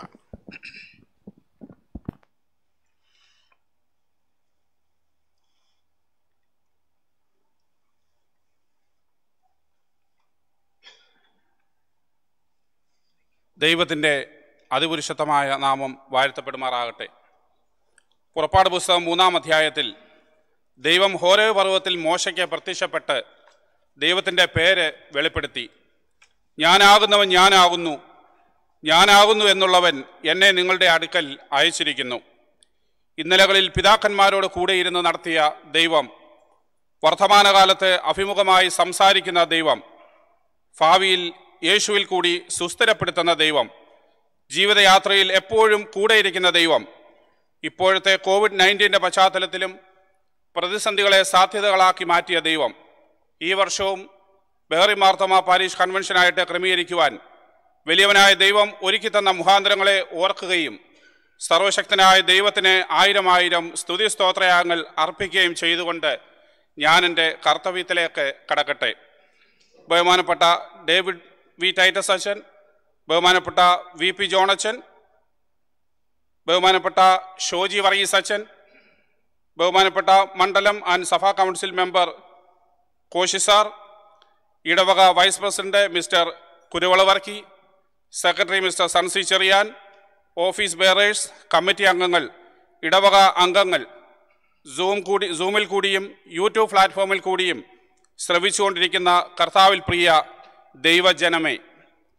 നമ്മുടെ കൺവെൻഷന്റെ ആദ്യ ദിനമായ ഇന്നത്തെ യോഗത്തിൽ അധ്യക്ഷപദം അലങ്കരിക്കുകയും നേതൃത്വം നൽകുകയും ചെയ്തത് നമ്മുടെ ഇടവക വികാരിയായിരിക്കുന്ന ബഹുമാനപ്പെട്ട ഡേവിഡ് വി ടൈറ്റസ് അച്ഛൻ ആകുന്നു വളരെ സിസ്റ്റമായിട്ട് തന്നെ ആറ്റിക്കായിട്ട് തന്നെ ഇടവകയുടെ എല്ലാ ശുശ്രൂഷകളും ഓർഗനൈസ് ചെയ്ത് ഇടവകയെ അച്ഛൻ മുന്നോട്ട് നടത്തുന്നു. അച്ഛനെ സംബന്ധിച്ചിടത്തോളം നമ്മുടെ ഇടവകയിൽ അച്ഛൻ സംബന്ധിക്കുന്ന ആദ്യത്തെ കൺവെൻഷൻ യോഗമാകുന്നു. അച്ഛന്റെ അനുഗ്രഹീതമായ നേതൃത്വത്തെ ഓർത്ത് ദൈവത്തെ സ്തുതിക്കുകയും അതോടൊപ്പം തന്നെ ബഹുമാനപ്പെട്ട അച്ഛനെയും ജോളി കൊച്ചമ്മയെയും വളരെയധികം സ്നേഹത്തോടെയും ആദരവോടും ഉള്ള നന്ദിയും സ്നേഹവും പാരീഷ് കൺവെൻഷന്റെ നാമത്തിൽ അറിയിച്ചു കൊള്ളുന്നു. അടുത്തതായി നമ്മുടെ ഇടവകയുടെ സഹവികാരിയായിരിക്കുന്ന ബഹുമാനപ്പെട്ട വി പി ജോണച്ചനാവുന്നു. അച്ഛനെ സംബന്ധിച്ച് പറയുകയാണെങ്കിൽ അച്ഛൻ നമുക്ക് ഏകദേശം മൂന്ന് വർഷക്കാലമായി വളരെയധികം ഉത്സാഹത്തോടെ ഇടവകയുടെ എല്ലാ കാര്യങ്ങൾക്കും കൈത്താങ്ങൽ നൽകിക്കൊണ്ടിരിക്കുന്നു. അച്ഛൻ നൽകുന്ന എല്ലാ ദൈവിക ശുശ്രൂഷകളെയും ഓർത്ത് ദൈവത്തെ സ്തുതിക്കുകയും അതോടൊപ്പം തന്നെ പ്രിയപ്പെട്ട വി പി ജോണച്ചനോടും ഡേസി കൊച്ചമ്മയോടും ഉള്ള നന്ദിയും സ്നേഹവും പാരീഷ് കൺവെൻഷന്റെ നാമത്തിൽ അറിയിക്കുകയും ചെയ്യുന്നു. അടുത്തതായി നമ്മുടെ ഇടവക കൺവെൻഷന്റെ ആദ്യ ദിനമായ ഇന്ന് രാത്രി നമുക്ക് മുഖ്യ സന്ദേശം നൽകുവാനായി നമ്മുടെ ക്ഷണം സ്വീകരിച്ച് നമുക്ക് അനുഗ്രഹിക്കപ്പെട്ട തിരുവചന സത്യങ്ങളെ പകർന്നു നൽകിയ ബഹുമാനപ്പെട്ട ഷോജി വറീസ് അച്ഛനാണ്. ദൈവത്തിന്റെ വലിയ കൃപയാലാകുന്നു പ്രിയപ്പെട്ട അച്ഛനെ നമുക്ക് ലഭിച്ചത്. അച്ഛനെ പറ്റി അധ്യക്ഷ പ്രസംഗത്തിൽ കൂടിയും സ്വാഗത പ്രസംഗത്തിൽ കൂടിയും നാം നേരത്തെ കേട്ടുവല്ലോ. അച്ഛൻ അനുഗ്രഹിക്കപ്പെട്ട ഒരു കൺവെൻഷൻ പ്രാസംഗികനാണ്. അച്ഛനിൽ കൂടി ഇന്ന് രാത്രി നമ്മൾ ശ്രമിച്ച ദൈവത്തിന്റെ മാറ്റമില്ലാത്ത തിരുവചനം നമ്മുടെ ഓരോരുത്തരുടെയും ജീവിതത്തിൽ ഒരു വലിയ പ്രത്യാശയുടെയും ഒരു പുതിയ ഉടമ്പടിയുടെയും അവസരമായി തീരട്ടെ എന്ന് പ്രാർത്ഥിക്കുകയും ചെയ്തുകൊണ്ട് ബഹ്റിൻ മാർത്തോമ ഇടവകയുടെ നാമത്തിലും എന്റെ വ്യക്തിപരമായ നാമത്തിലും ഉള്ള കൃതജ്ഞതയെ രേഖപ്പെടുത്തിക്കൊള്ളുന്നു. ഇനിയും ഇടവക വൈസ് പ്രസിഡന്റ് മിസ്റ്റർ കുരുവിളവർക്കി secretary mister Sunsy Cherian office bearers കൈസാന സമിതി അംഗങ്ങൾ വിവിധതരം ശുശ്രൂഷകൾ നിർവഹിക്കുന്നവർ ഇടവക ജനങ്ങൾ ബഹ്റിനിലും മറ്റിടങ്ങളിലും ഒക്കെയായി യോഗത്തിൽ പങ്കെടുക്കുന്ന എല്ലാ പ്രിയപ്പെട്ടവരോടുമുള്ള നന്ദിയും കൃതജ്ഞതയും രേഖപ്പെടുത്തിക്കൊള്ളുന്നു. അടുത്തതായിട്ട് നന്ദി രേഖപ്പെടുത്തുവാനുള്ളത് നമ്മുടെ ഇടവകയുടെ ഐ ടി ആൻഡ് മീഡിയ ടീമിനോടാണ്. ഇടവകയുടെ എല്ലാവിധമായ പ്രോഗ്രാമുകൾക്കും ഐ ടി ടീം നൽകുന്ന സപ്പോർട്ട് തികച്ചും ശ്ലാഘനീയമാണ്. ഐ ടി ടീമിൽ പ്രവർത്തിക്കുന്ന Mr Alex Varghese Mr Binu Thomas Varghese Mr Bijo Thomas എന്നിവരോടുള്ള കൃതജ്ഞത ഈ സമയത്ത് രേഖപ്പെടുത്തുന്നു. ഇനിയും നന്ദി അർപ്പിക്കുവാനുള്ളത് നമ്മുടെ അനുഗ്രഹിക്കപ്പെട്ട പാരീഷ് കൊയർ അംഗങ്ങളോടാണ്. വളരെ നേരത്തെ തന്നെ പ്രാക്ടീസുകൾ ആരംഭിക്കുകയും മനോഹരമായ ഗാനങ്ങൾ കൺവെൻഷനെ അനുഗ്രഹകരമായ രീതിയിൽ ആലപിക്കുകയും ചെയ്യുന്ന കോയർ അംഗങ്ങളോടും കോയർ ലീഡറായി പ്രവർത്തിക്കുന്ന മിസ്റ്റർ തോമസ് ജോണിനോടും കീബോർഡ് പ്ലേ ചെയ്ത് സഹായിക്കുന്ന മാസ്റ്റർ ജോയൽ ബിജുവിനോടുള്ള കൺവെൻഷന്റെ നാമത്തിലുള്ള കൃതജ്ഞതയെ രേഖപ്പെടുത്തുന്നു. അടുത്തതായി ഇന്നത്തെ കൺവെൻഷൻ ദിനത്തിൽ വിവിധങ്ങളായ ശുശ്രൂഷകൾക്ക് നേതൃത്വം നൽകിയ ഇടമിഷൻ ചുമതലക്കാരോടും ആദ്യോടന്തം വിവിധ ശുശ്രൂഷകൾക്ക് നേതൃത്വം നൽകിയ എല്ലാവരോടും ഒരിക്കൽ കൂടി ഹൃദയത്തിന്റെ ഭാഷയിൽ നന്ദിയും സ്നേഹവും കടപ്പാടും അറിയിച്ചുകൊണ്ടും ഇന്നത്തെ ശുശ്രൂഷയിൽ വ്യാപരിച്ച ദൈവത്തിന്റെ അനവരതമായ ദൈവിക സാന്നിധ്യത്തെ ഓർത്ത് നന്ദി കരയേറ്റിക്കൊണ്ടും ഞാൻ എന്റെ കർത്തവ്യത്തിൽ നിന്നും വിരമിച്ചുകൊള്ളുന്നു. സർവശക്തനായ ദൈവം തുടർന്നുള്ള ദിവസങ്ങളിലും കൂടെ ഇരുന്ന് നമ്മെ വഴി നടത്തട്ടെ എന്ന് പ്രാർത്ഥിക്കുകയും ചെയ്യുന്നു.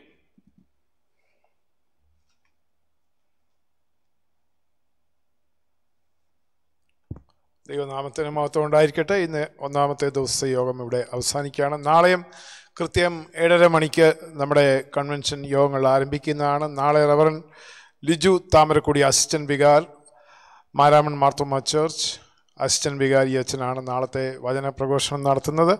ഈ മൂന്ന് ദിവസങ്ങളിൽ വ്യത്യസ്തമായ സംഘടനകളെ പ്രതിനിധീകരിച്ച് ഇവിടെ പല കാര്യങ്ങൾ നിർവഹിക്കുന്നു. ഇന്നത്തെ മധ്യസ്ഥ പ്രാർത്ഥനയ്ക്ക് നേതൃത്വം നൽകിയത് മിസ്സസ് മീനു ഫിലിപ്പും.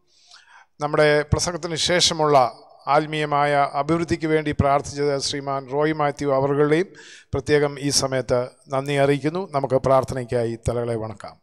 സ്വർഗസ്നായ ഞങ്ങളുടെ പിതാവേ തിരുനാമം പരിശുദ്ധമാക്കപ്പെടണമേ തിരുരാജ്യം വേണമേ തിരീഷ്ടം സ്വർഗത്തിലെ പോലെ ഭൂമിയിലുമാകണമേ. ഞങ്ങൾക്ക് ആവശ്യമുള്ള ആഹാരം ഞങ്ങൾക്ക് തരണമേ. ഞങ്ങളുടെ കടക്കാരോട് ഞങ്ങൾ ക്ഷമിച്ചിരിക്കുന്നത് പോലെ കടങ്ങളും ദോഷം ഞങ്ങളോട് ക്ഷമിക്കണമേ. ഞങ്ങളെ പരീക്ഷയിലേക്ക് പ്രവേശിപ്പിക്കാതെ ദുഷ്ടനിൽ നിന്ന് രക്ഷിച്ചോളണമേ എന്നുണ്ടെന്നാൽ രാജ്യവും ശക്തിയും മഹത്വവും എന്നേക്കും നിനക്കുള്ളതാകുന്നു. ആമീൻ. ത്രിയേക ദൈവത്തിന്റെ അനുഗ്രഹങ്ങളും ആശീർവാദങ്ങളും വാഴ്വുകളും. പ്രിയമുള്ളവരെ നാം ഓരോരുത്തരുടെ മേലും കേട്ട വചനങ്ങൾ മേലും ഇന്നും എന്നേക്കും ഉണ്ടായിരിക്കുമാറാകട്ടെ. ആമീൻ. ശാന്തമായിട്ട് പിരിഞ്ഞു പോകാം.